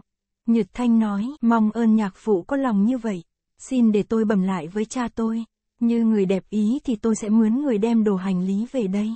Nói rồi liền trở vào phòng nói lại cho tiểu thơ hay. Tiểu thơ cả mừng nói rằng, nếu cha chịu về đây thì tôi đặng cung phụng hôm sớm cho chọn đạo dâu con, mà rồi lang quân cũng đặng thần tình mộ khang, cha con gần gũi, vậy thì lang quân hay đi đi. Nhật Thanh Nhơn thấy cha vợ và vợ thầy đều một ý, liền qua tiệm lý ra, vào ra mắt thiên tử rồi nói rằng, này cha vợ và vợ tôi thấy cha ở tại tiệm một mình, e không người cung phụng, nên sai tôi về đây rước cha qua đó ở, vậy thì xin cha sắm sửa đi theo tôi. Nguyên vì thiên tử thấy vắng Nhật Thanh thì buồn, nay thấy Nhật Thanh về rước thì mừng vui chẳng xiết, liền sắm sửa hành lý, mướn người khiêng đi theo Nhật Thanh qua xài ra trang mà ở. Khi về đến nơi, Nhật Thanh chạy vào báo trước, xài viên ngoại cả mừng, chạy ra nghinh tiếp, vào đến trung đường, phân ngôi chủ khách ngồi. Thiên tử bèn nói rằng, mong ơn viên ngoại chẳng bỏ nên tôi phải đến đây, chớ thiệt lòng tôi còn ngại. Viên ngoại nói, này đã là xui ra với nhau rồi còn ngại ngùng làm chi. Nói rồi liền khiến Gia Dinh quét dọn một phòng phía bên đông thính cho sạch sẽ cho ông xui nghỉ ngơi. Từ ấy thiên tử ngụ lại xài gia trang, ngày thì đi du ngoạn các nơi, tối lại trở về mà nghĩ, hoặc ngâm thi vịnh phú, hoặc uống rượu đánh cờ chơi, lần hồi ngày tháng như thoi đưa, ở đó đã hơn vài tháng. Lúc ấy nhằm sơ tuần tháng tư, cảnh sắc đượm nguồn, thiên tử với Nhật Thanh dắt nhau dạo chơi, đi đến Mã Vương Miễu, xem thấy Miễu võ rộng rãi, thiên hạ tới lui đông đảo, những kẻ buôn bán bánh hàng, và thầy bán thuốc, thầy tướng cùng thầy coi quẻ cũng đông, bước vào cửa thứ hai, lại thấy có người đang ngồi nói chuyện, thiên tử và Nhật Thanh dừng trơn lại nghe coi nói chuyện gì, ai ngờ người ấy đang nói tới đại ị minh tránh đưa xê hoàng đế giá du Giang Nam, tại tiểu lầu hí phụng. Thiên tử nghe nói tích ấy thì khen rằng, thiệt quả phong cảnh Giang Nam rất tốt, xem chơi chẳng nhàm, rất đổi là đế vương xưa còn đến đây thay huống chi là chấm. Xem trọi một hồi trời đã gần tối, bèn dắt Nhật Thanh ra khỏi cửa miễu, ý muốn về nhà, đi đến giữa đàng vùng gặp một người thiếu niên vừa đi vừa khóc. Thiên tử bèn bước tới hỏi thăm lai do. chương 22, hồi 22, nguyên tại Dương Châu Phủ Thành, ở nơi phía ngoài thành có một xóm kia kêu là Đồng An Lý, có một người nhà giàu họ Huỳnh tên Nhơn, tự đắc minh, gia tài ước có mấy mươi muôn, ruộng đất rất nhiều, tôi trai mọi gái cũng đông, có bốn đứa con trai, con lớn tên là Phi Long, cưới vợ là Châu Thị, con thứ hai tên là Phi Hổ, cưới vợ là Vương Thị, con thứ ba tên Phi Hồng, con út tên Phi Biêu đều chưa vợ, Phi Long và Phi Hổ đã vào nhà võ học, còn Huỳnh Nhơn thì mua chức đồng chi hàm, thường hay ý thế cướp đoạt vườn ruộng của người, lại gian dâm vợ con người ta, không có điều ác nào mà chẳng làm, ngày kia nhằm lúc thanh minh giai tiết, nhà nhà đều đi tảo mộ. Thuở ấy lại có một người đàn bà, tên là Dương Thị, tuổi mới 50, chồng là kế xương mới mất, có để lại một người con gái tên là Nguyệt Kiều. Ngày ấy mẹ con dắt nhau đi tảo mộ, vừa gặp cha con Huỳnh Nhơn cũng đi tảo mộ, người con thứ ba là Phi Hồng ngó thấy Nguyệt Kiều dung nhan đẹp đẽ, cốt cách phương phi, cứ ngó theo hoài không nháy mắt, trong lòng khoan khoái yêu thương, song chẳng biết là con nhà ai, nên khi tảo mộ xong rồi, cứ đi sau lưng mẹ con Nguyệt Kiều theo về tới nhà, hỏi thăm lối xóm mới biết là con gái của kế xương, bèn trở về nhà nói cho mẹ là Lý Thị hay, muốn cưới Nguyệt Kiều làm vợ.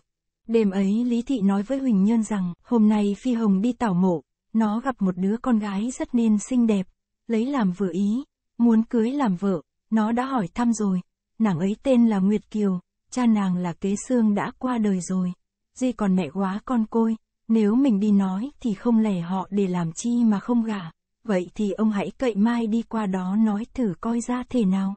Huỳnh Nhơn nói, hèn chi hôm nay không thấy nó lại mồ mả chi hết, khi lên tới mộ nó gặp hai mẹ con nàng ấy thì nó theo đi mất.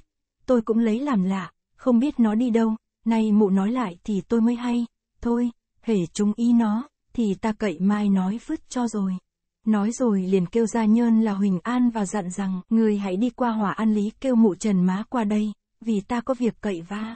Huỳnh An lãnh mạng đi liền, qua đến nơi vào nhà nói với Trần Má rằng, lão gia có việc cậy gì, nên cho tôi qua đây kêu gì, vậy thì gì phải sắm sửa đi cho mau. Trần Má nói, việc chi gấp dữ vậy, thôi để ta đóng cửa rồi sẽ đi, vừa nói vừa khóa cửa lại, rồi theo Huỳnh An tuốt qua Huỳnh Gia Trang, vào nhà ra mắt Huỳnh Nhơn, rồi nói rằng, chẳng hay lão gia có việc chi đòi hỏi đến tôi.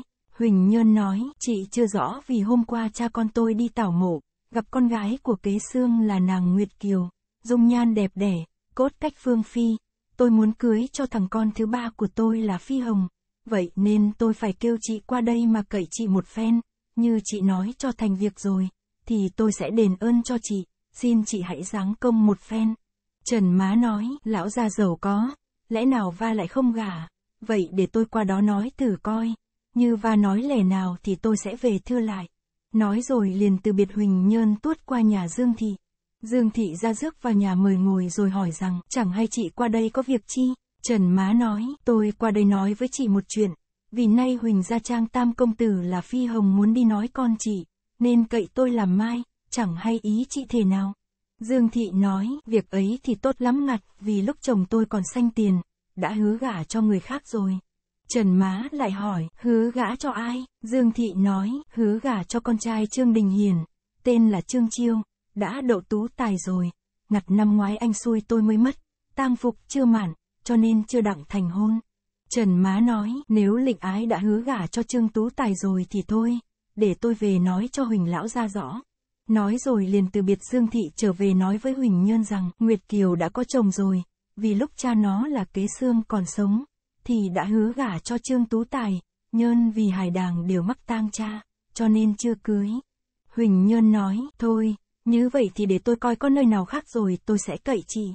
Trần Má bèn từ biệt ra về, khi Trần Má về rồi thì Huỳnh Nhơn bèn kêu Phi Hồng nói rằng, cha đã cậy Trần Má đi nói Nguyệt Kiều cho con, té ra mẹ nó là Dương Thị nói rằng, đã hứa gả cho Trương Tú Tài rồi, song hai đảng đều mắc tang cha, nên chưa cưới. Thôi, để cha đi kiếm chỗ khác cưới cho con cũng đặng. Phi Hồng nghe nói, miệng tuy làm thinh nhưng trong lòng chẳng đẹp, bèn trở vào phòng trằn chọc xốn sang, vùng phát bệnh lên, nằm liệt hơn mấy ngày không dậy. Vợ chồng Huỳnh Nhơn vào phòng hỏi rằng, con đau bệnh chi mà nằm hoài vậy hả? Nói cho cha mẹ biết, đặng chạy thuốc cho con. Phi Hồng đáp, từ hôm đi tảo mộ về cho đến nay, trong lòng buồn bực, chẳng ăn nên mới sanh bệnh ra như vậy. Nói rồi liền nhắm mắt lại nằm thiêm thiếp, chẳng nói rằng chi nửa. Vợ chồng Huỳnh Nhơn bèn trở ra ngoài thương nghị với nhau rằng, nếu nó đau như vậy thì phải rước thầy đến coi mạch cho nó mói xong. Nói rồi liền kêu Huỳnh An sai đi rước thầy. Huỳnh An lãnh mạng đi rước về một ông thầy tên là Hà Hữu Tế. Về đến nơi, Huỳnh An để ông thầy ngồi ngoài, rồi chạy tuốt vào phòng nói với Phi Hồng rằng, ông với bà dạy tôi đi rước thầy coi mạch cho cậu. Này tôi đã rước thầy về đó, vậy xin cậu dáng ra ngoài cho thầy coi mạch. Phi Hồng nói, trong mình ta buồn rùn, dậy không nổi, vậy thì mời ông thầy vào đây mà coi. Huỳnh An bèn chạy ra mới ông thầy vào, ông thầy theo vào trong phòng đặt tay coi mạch, coi rồi lại hỏi thăm căn bệnh phát tại ngày nào. Xong rồi bèn trở ra ngoài nói với Huỳnh Nhơn rằng, trong mình của lệnh lang âm hòa vọng lên, tim gan không đặng nở, ấy là tại trong lòng có việc chi không đặng xưng ý, nên mới sanh ra bệnh như vậy, nếu chẳng làm thang an tâm điều lý thì không mạnh đặng. Liền lấy thuốc trao ra rồi từ biệt lui về, đêm ấy Phi Hồng uống thuốc vào rồi, bệnh chẳng thấy bớt chút nào hết, uống luôn hơn mấy bữa, bệnh càng thêm nặng.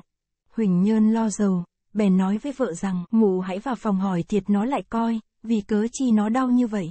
Lý Thị nghe lời chồng, đêm ấy vào phòng hỏi Phi Hồng rằng vậy, chớ duyên cớ làm sao con đau như vậy, con hãy nói thiệt cho mẹ tính cho. Phi Hồng nói, căn bệnh của con đây có khi mẹ đã biết hết rồi, từ ngày con thấy mặt Nguyệt Kiều tới nay trong lòng hàng thương nhớ, cho nên mới sanh bệnh như vậy. Nay dẫu cho ông biển thước có sống lại đi nữa, thì cũng khó trị bệnh con, tưởng có khi con sống lâu chẳng đặng rồi. Nói rồi liền nhắm mắt, Lý Thị nghe lời con nói như vậy liền trở ra ngoài nói với chồng rằng, con mình đau đó là vì nó tư tưởng con Nguyệt Kiều, nên mới sanh ra bệnh như vậy. Tôi tưởng có thuốc chi đi nữa thì cũng vô dụng, vậy ông phải lo thế nào cứu mạng cho con, bằng để vậy thì tôi e bất tiền. Huỳnh Nhơn ngầm nghĩ một hồi rồi nói rằng, Nguyệt Kiều đã hứa gã cho người rồi, dẫu có lo thế nào đi nữa cũng không phải dễ. Vậy thì để mai tôi kêu Trần Mã qua đây coi va có kế chi chăng? Qua và sau, Huỳnh Nhơn lại sai Huỳnh An đi kêu Trần Mã. Huỳnh An vâng lệnh đi chẳng bao lâu, đã dắt Trần Mã về tới.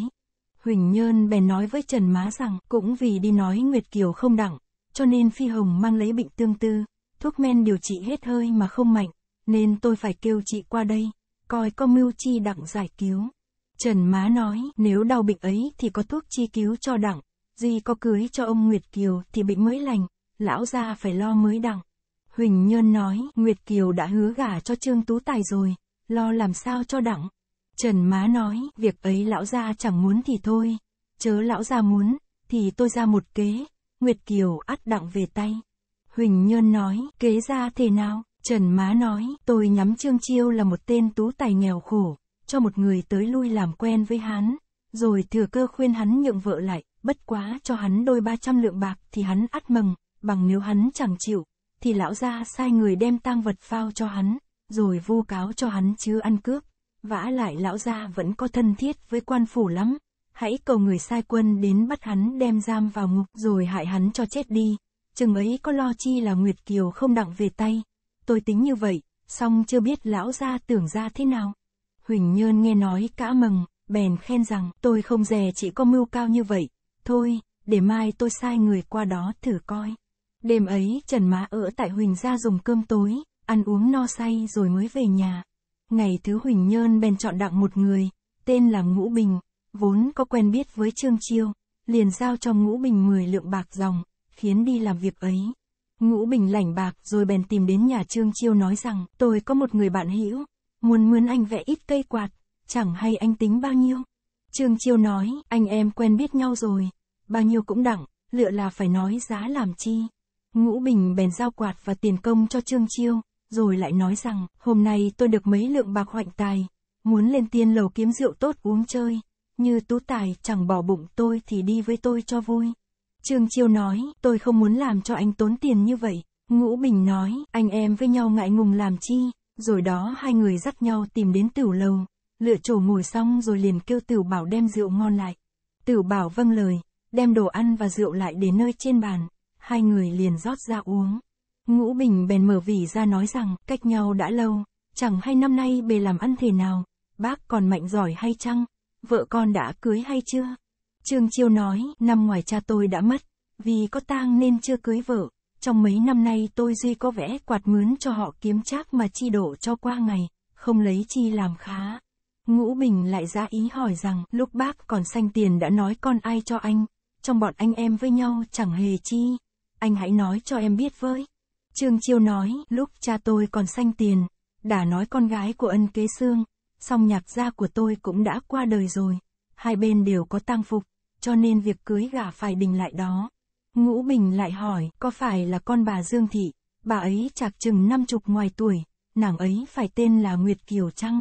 Trương Chiêu nói, phải đa, sao anh biết đặng? Ngũ Bình nói, như ai thì tôi không nói, chớ tôi với anh đã quen biết lâu năm, kết giao đã hậu, cho nên không lẽ mà tôi không nói, vì người đàn bà ấy thiệt là chẳng hiền, lúc còn nhỏ thì ở đã chẳng ra gì, nay lại dạy con làm điều bất tránh, trai gái với người ta, người người đều biết, không lẽ anh không hay. Trường Chiêu nghe nói làm thinh ngầm nghĩ hồi lâu, rồi mới mở miệng hỏi rằng, lời anh nói quả thiệt như vậy sao, còn người trai gái với nó là ai? Ngũ Bình nói, tôi nghe người ta nói rằng người trai gái vói nó là Phi Hồng, là người con thứ ba của Huỳnh Nhơn, thường tới lui với nhau hoài, may là chưa cưới hỏi chi, như chừng cưới hỏi rồi, thì anh phải cẩn thận cho lắm, nếu để qua lại với người tình Nhơn nhiều lần, thì tánh ma năm nanogam anh ắt chẳng khỏi lầm tay độc thủ, anh hãy tính trước cho sớm. Trường chiều nghe Ngũ Bình nói vậy thì không yên, song cũng không biết trơn dã thể nào, bèn uống sơ xịa một hồi rồi nói với Ngũ Bình rằng, lời anh chỉ là nghe người ta nói, chớ mắt cũng chưa thấy thiệt rõ ràng, còn như tôi thì nghèo sát đất lấy chi mà lo tính bây giờ. Ngũ Hưng có kế chi hay, xin dạy biểu dùm tôi với. Ngũ Bình nói, tôi có một lời, song chưa biết anh có bằng lòng cho tôi nô ý hay chăng? Trương Chiêu nói, nếu anh có lời chi hay xin chớ ngại, hãy nói ra cho tôi rõ với. Ngũ Bình nói, những đàn bà không hiền như vậy, dù có cưới về nhà thì cũng không tốt gì, mà lại còn sợ nó sanh hậu hoạn ra nữa, chi bằng hồi phứt nó đi, cho nó lấy phi hồng, mình lại khiến người đến nói với phi hồng mà khấu bán vài ba trăm lượng, đi kiếm chỗ khác cho hiền lương mà cưới, anh liệu ra thế nào? Trương Chiêu nói, sự tình như vậy, thì phải suy xét cho chắn, lời người ta nói chẳng nên vội tin, để tôi dọ cho minh bạch rồi bữa khác sẽ hay. Khi hai người ăn uống rồi, bên xuống lầu từ biệt nhau mà đi, ai về nhà nấy. Đêm ấy Trương Chiêu về nhà nằm ngủ chẳng yên, trông cho mau sáng, sai người qua bên nhà mẹ vợ, đem những việc ấy mà tra hỏi một hồi, mới hay Huỳnh Nhơn đã có cậy trần má làm mai qua nó mà mẹ vợ mình không gả. Chừng ấy mới biết ngũ bình gạt mình, bèn lập chủ ý, lo vẽ cho rồi hết mấy cây quạt của ngũ bình, rồi đợi va qua sẽ hay. Chừng mấy ngày ngũ bình qua lấy, Trương Chiêu bèn giao hết quạt cho ngũ bình và nói rằng, ngũ huynh, như mấy lời anh nói hồi trước đó tôi đã dọ la ỷ chắc chắn rồi. Ấy là tại anh nghe họ đồn huyền, may chớ không thì tôi đã hồi vợ tôi đi rồi còn gì. Anh hãy về nói lại với Huỳnh Nhơn, chó có tưởng quấy mà uống công. Nói bấy nhiêu điều rồi bỏ mà đi vào chẳng thèm chuyện vản chi với ngũ bình nữa. Ngũ bình mắc cờ liền lấy quạt rồi đi về một nước. Tuốt qua Huỳnh Gia Trang, vào đến thơ phòng, ra mắt Huỳnh Nhơn mà nói rằng, việc ấy chẳng xong, tôi đã đến làm bộ mướn trương chiêu vẽ quạt, rồi dắt va lên tiên lầu uống rượu, kiếm lời dụ gạt va, chẳng dè va dọ lai hơn mấy ngày, hôm nay tôi đến lấy quạt, bị va mắng cho một hồi, va lại nhắn tôi về nói lại với cha con thức thai, chớ có tưởng quấy mà phiền lòng. Và nói bấy nhiêu lời rồi quẩy quả vào trong chẳng thèm nói chuyện với tôi nữa. Thiệt va khi đời quá, tôi lấy làm tức giận. Thức thai phải có phương pháp gì làm cho hắn chết đi, và lại thức thai với quan phủ có tình thân thiết với nhau lắm. Sa chi một tên học trò khó như vậy mà để cho nó địch thể với mình sao? phải làm cho tới chuyện thử coi Nguyệt Kiều có về tay ta hay không cho biết, chẳng hay thức thai có kế chi chăng? Huỳnh Nhơn nói, việc ấy có khó chi, để mai ta làm một lá đơn, vào nhà quan phủ mà báo rằng ta bị ăn cướp, cầu người sai bắt Trương Chiêu, nói rằng nó là đứa ngồi không mà chia của, đồng lỏa với ăn cướp, còn ngươi đem đồ tang giấu vào nhà nó cho sẵn, hễ bắt đặng đồ tang, thì còn chi là nó, kế ấy ngươi liệu thế nào? Ngũ Bình nói, hay lắm, vậy thì phải làm cho mau, chớ nên để lâu. Huỳnh Nhơn bèn viết một lá đơn rồi trao cho Ngũ Bình xem thử. Đơn như vậy, bẩm vì tôi là Huỳnh Nhơn, niên canh 60 tuổi người ở đất Dương Châu. Nhơn bị ăn cướp, nay dọ đặng thiệt tang chứng rõ ràng, nên đến nhờ ơn công tổ lão gia sai người đi bắt. Nguyên vì tên ấy ở tại Đồng An Lý, thuở nay cũng chẳng chi lạ, chẳng dè hôm nga y mùng 5 tháng 4 năm này, chừng lúc canh ba, có một bọn ăn cướp hơn 30 người, đều cầm binh khí phá cửa xông vào cướp giật vàng bạc và đồ nữ trang rất nhiều, chi hô không kịp. Qua bữa sau, tôi mới cho người dọ coi, dò đặng đồ tang tại nhà tú tài trương chiêu, và bọn ăn cướp thường vàng lai với va. Thiệt rõ ràng là va đồng mưu với nó, ngồi không mà chia của, nếu chẳng bẩm thỉnh xét bắt, thì địa phương sao đặng an ninh, nên phải sai gia nhơn là Huỳnh An, dâng lá đơn này, ngựa trông lượng trên, sai quân xét bắt, như quả có đồ tang, thì cứ công pháp mà làm án, tôi rất cảm đội muôn đời công tổ đại lão ra đài tiền. Tôi xin kể những đồ mất ra sau này, xin ngài ra ơn mà thi hành.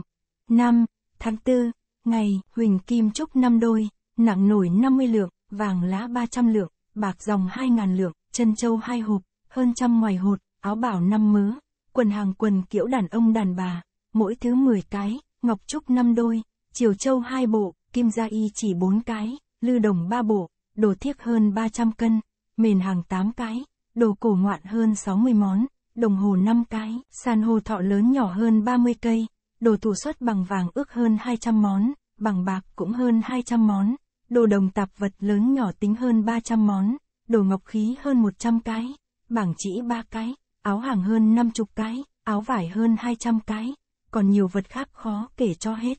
Cộng kể hết thầy, ước đáng giá bạc hơn 3 muôn dư lượng. Ngũ Bình xem rồi, bèn trao lại cho Huỳnh Nhơn và nói rằng, đơn này làm rất hay, vậy phải sai người đầu độ cho sớm. Huỳnh Nhơn liền viết một phong thơ riêng nữa rồi trao cho Huỳnh An, đem đến nhà chi phủ, giao cho hiệu phòng dâng vào.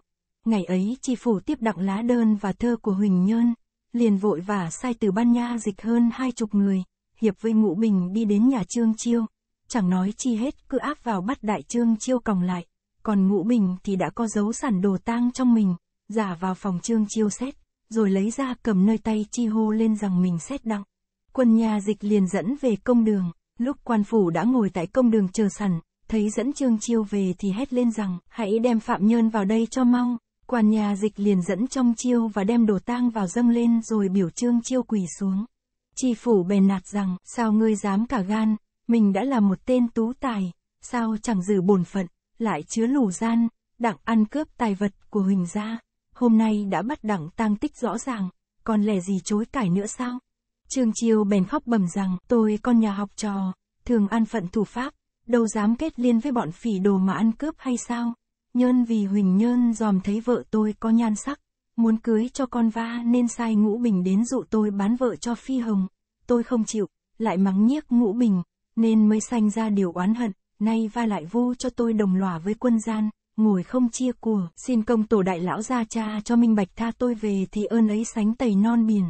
Chi Phủ nói, người nói rằng ngươi chẳng phải đồng lòa với quân ăn cướp, vì cớ nào đồ tang có tại trong phòng ngươi, nếu chẳng khảo ngươi thì ắt chẳng chịu khai. Nói rồi liền nạt quân nha dịch biểu đánh cho đau, lúc ấy Huỳnh Nhơn đã hối lộ với quân nha dịch rồi, cho nên khi chúng nó nghe có lệnh quan phủ dậy đánh, liền áp ra bắt trương chiêu lột hết y phục, rè xuống đánh hơn năm chục roi.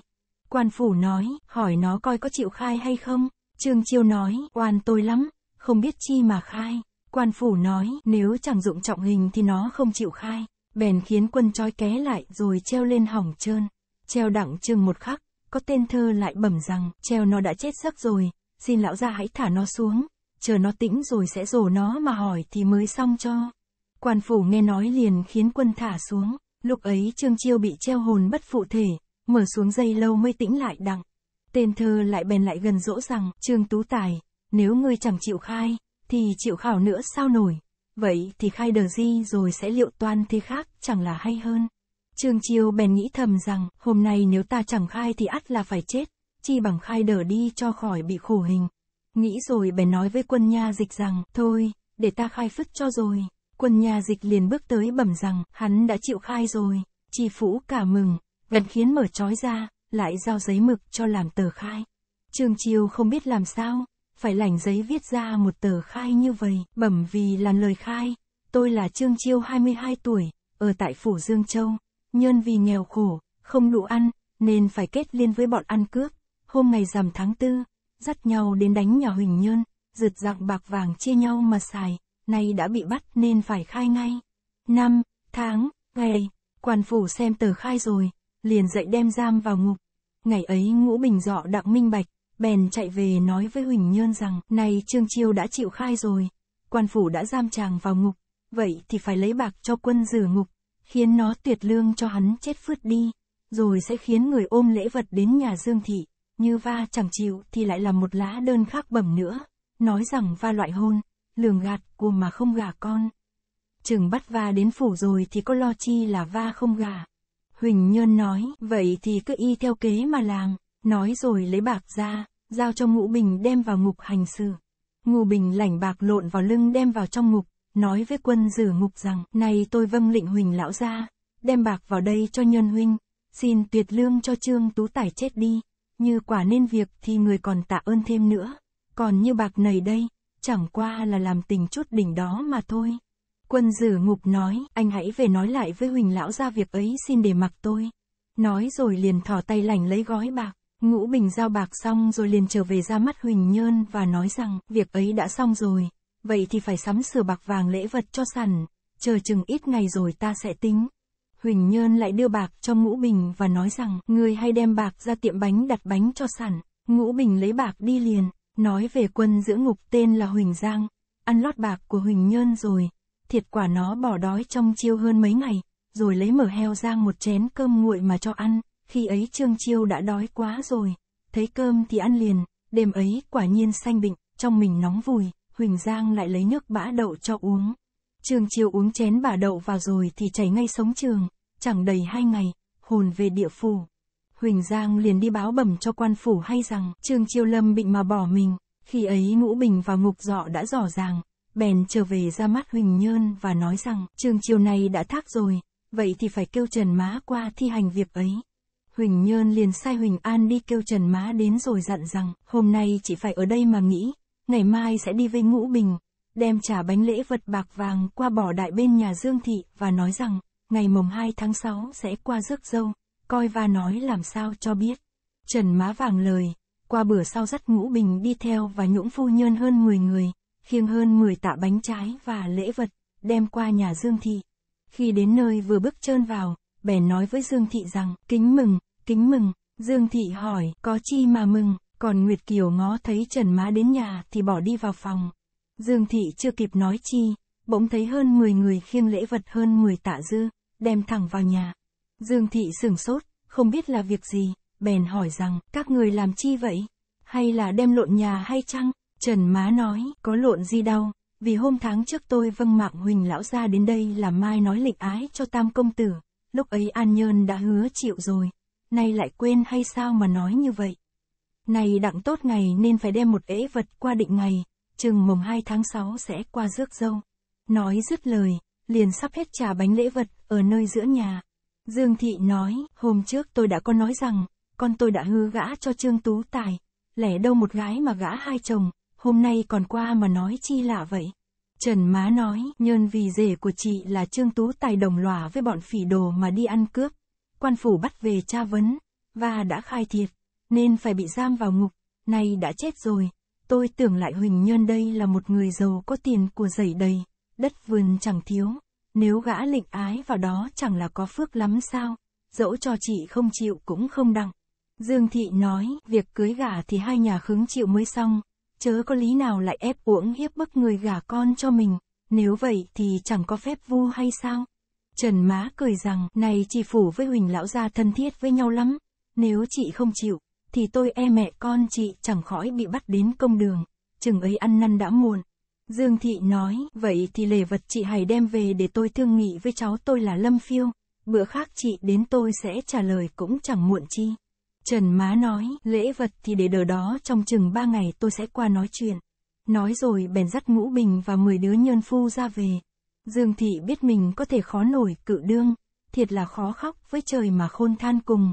Bèn trở vào phòng nói với con mình là Nguyệt Kiều rằng, này Trần Má lại đến cưỡng bức mẹ gả con hoài va lại nói rằng chồng con đã bị quan phủ bắt giam, thác ta ị trong ngục rồi.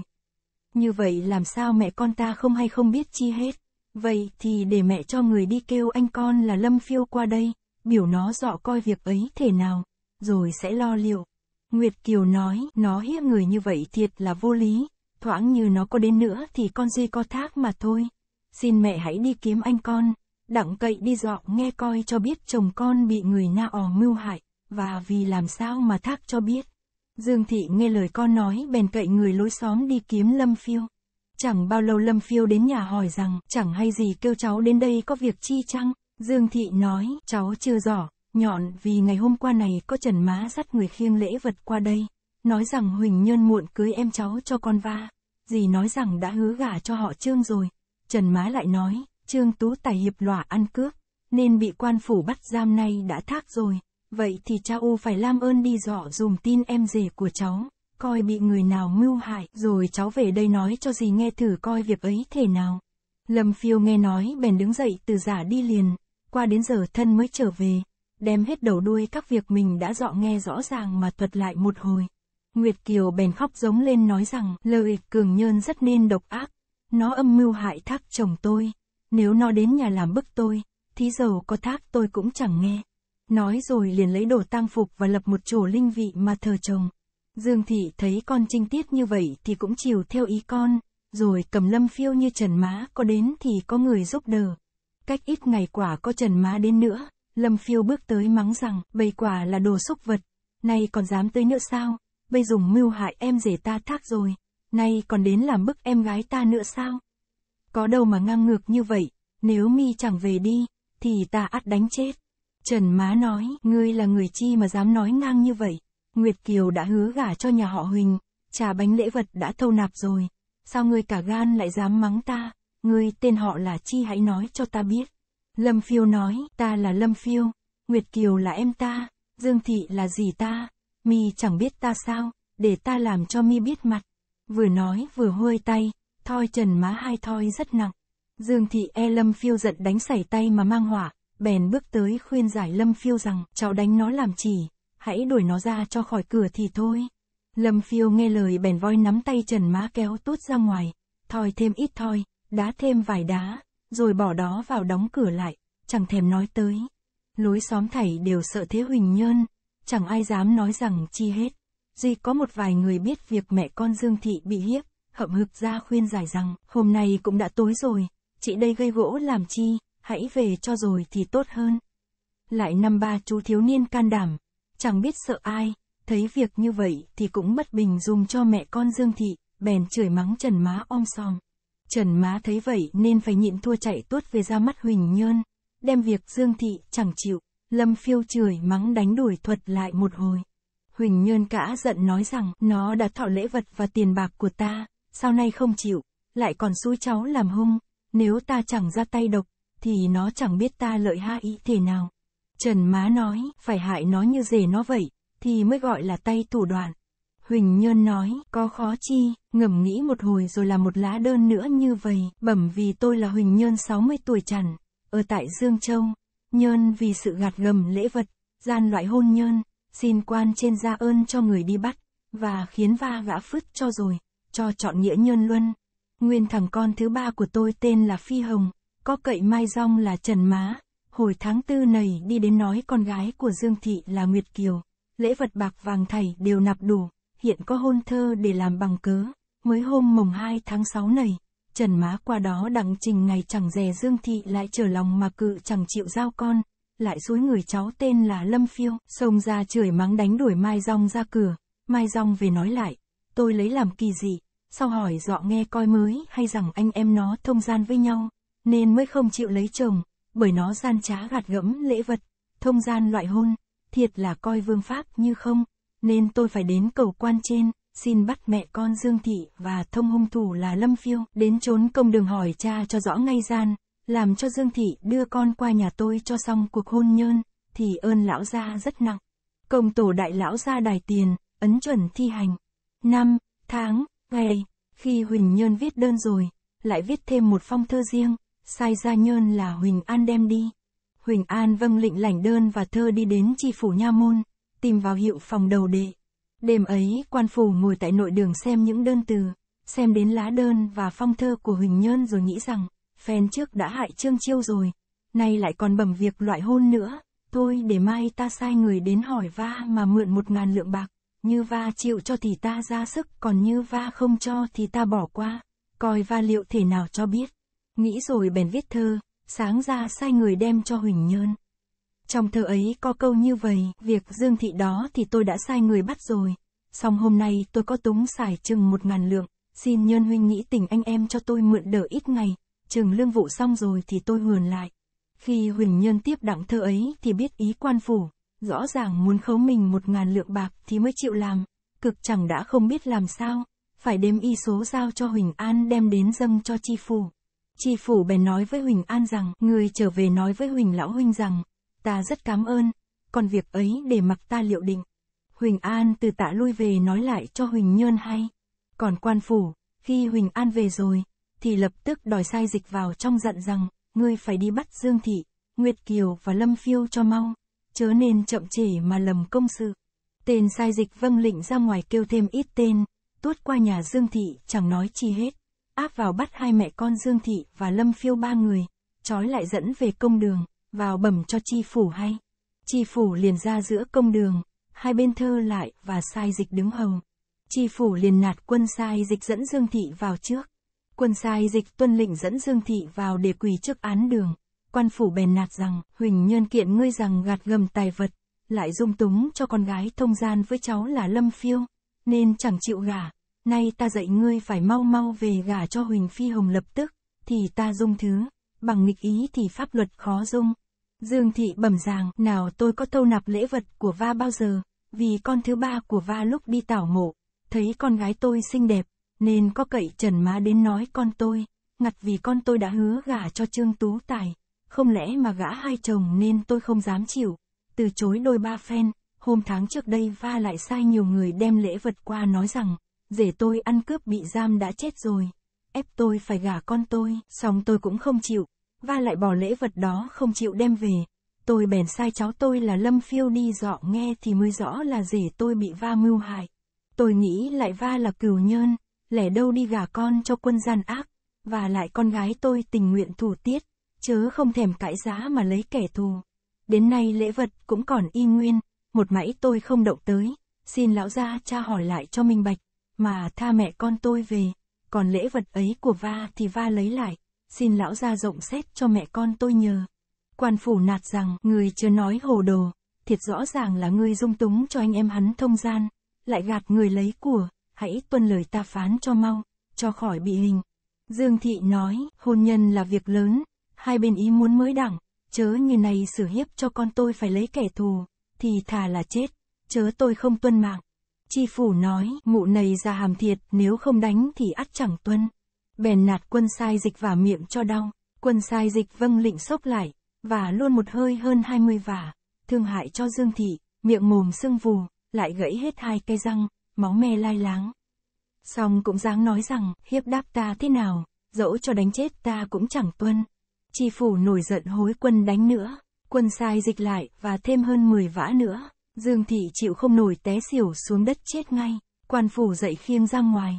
Còn Nguyệt Kiều và Lâm Phiêu thì đem giam vào ngục.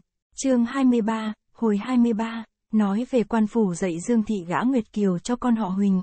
Chẳng dè Dương Thị quyết ý chẳng gã, lại nói nhiều lời cứng cỏi, bèn nổi giận mà đánh chết đi. Chừng nghĩ lại thì trong lòng không an, nên không nỡ làm bức Nguyệt Kiều nữa. Song mắc hối lộ của Huỳnh Nhơn đã nhiều nên phải làm cho hết lòng đặng nuốt cho trơn cổ. Bèn dạy giam Nguyệt Kiều và Lâm Phiêu vào ngục rồi khiến bọn đờn bà bị giam thùng thẳng dỗ lần, chẳng dè Nguyệt Kiều quả nhiên trinh tiết, chẳng hề đổi trí. Chi phủ cũng không biết làm sao, sang nói dối với Huỳnh Nhơn rằng mình dỗ lần phải đặng, chẳng nay thì Mai Nguyệt Kiều cũng phải về tay. Phi Hồng nghe vậy thì tin rằng thiệt, cho nên trong mình giảm bệnh hết nhiều, lần lần đi ra đi vào mạnh lành như cũ. Việc ấy còn lâu, đây nói về quan chế quân là bá đạt, từ ngày gặp Đặng Thiên Tử tại Trấn Giang, đơn đồ huyện khuyên thỉnh Thiên Tử hồi chào, ngặt vì người đi chơi chưa đủ nên chưa chịu về.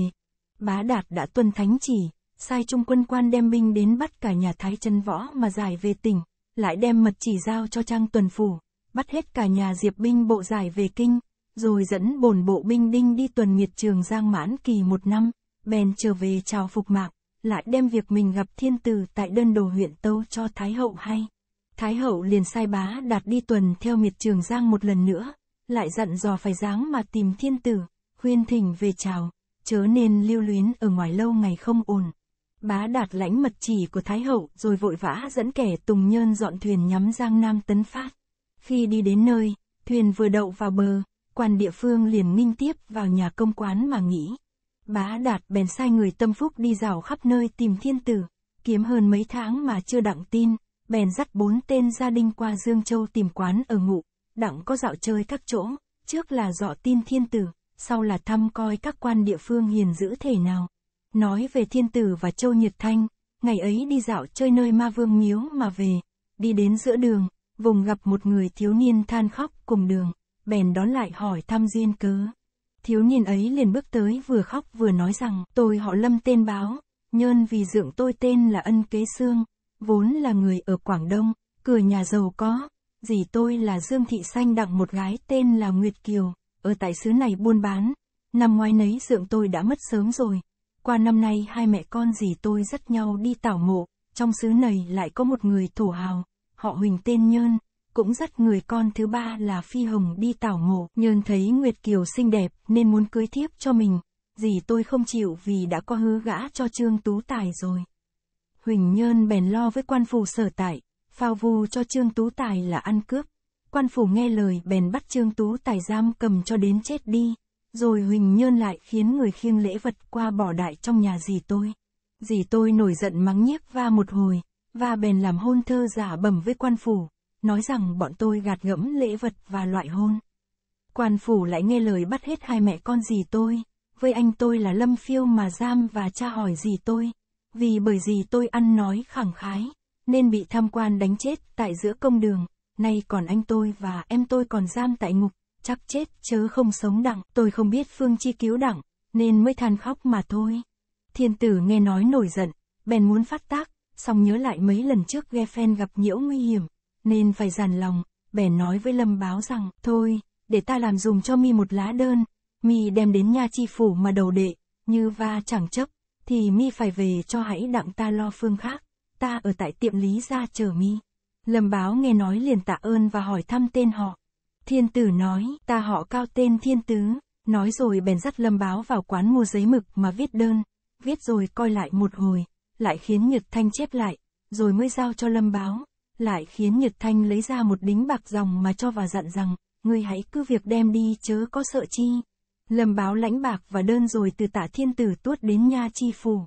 Lúc ấy nhằm ngày mồng 8, là ngày sự kiện, bá tánh đến nhà thư kiện rất đông, trời vừa đúng ngọ quan phủ mới ra hầu, hai bên sai dịch hầu hạ nghiêm trang, bá tánh lục tục đem đơn vào dâng lên, lâm báo cũng dâng theo, quan phủ tiếp lấy đơn lâm báo, liền mở thư ra xem. Đơn như vậy, tôi là lâm báo, tuổi vừa 19, người Dương Châu, bẩm vì thô hảo ý thế, hiếp buộc việc hôn nhân.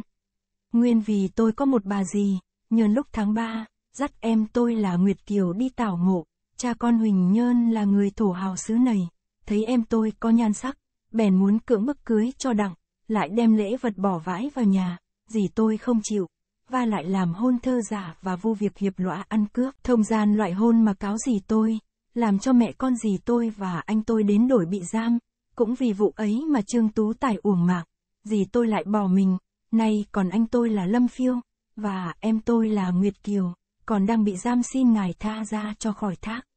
Chí như cha con Huỳnh Nhơn, Mai Rong là Trần Má, ác ôn là Ngũ Bình, xin hãy bắt hết đem về cha cứu, nhờ ơn công tổ đại lão gia.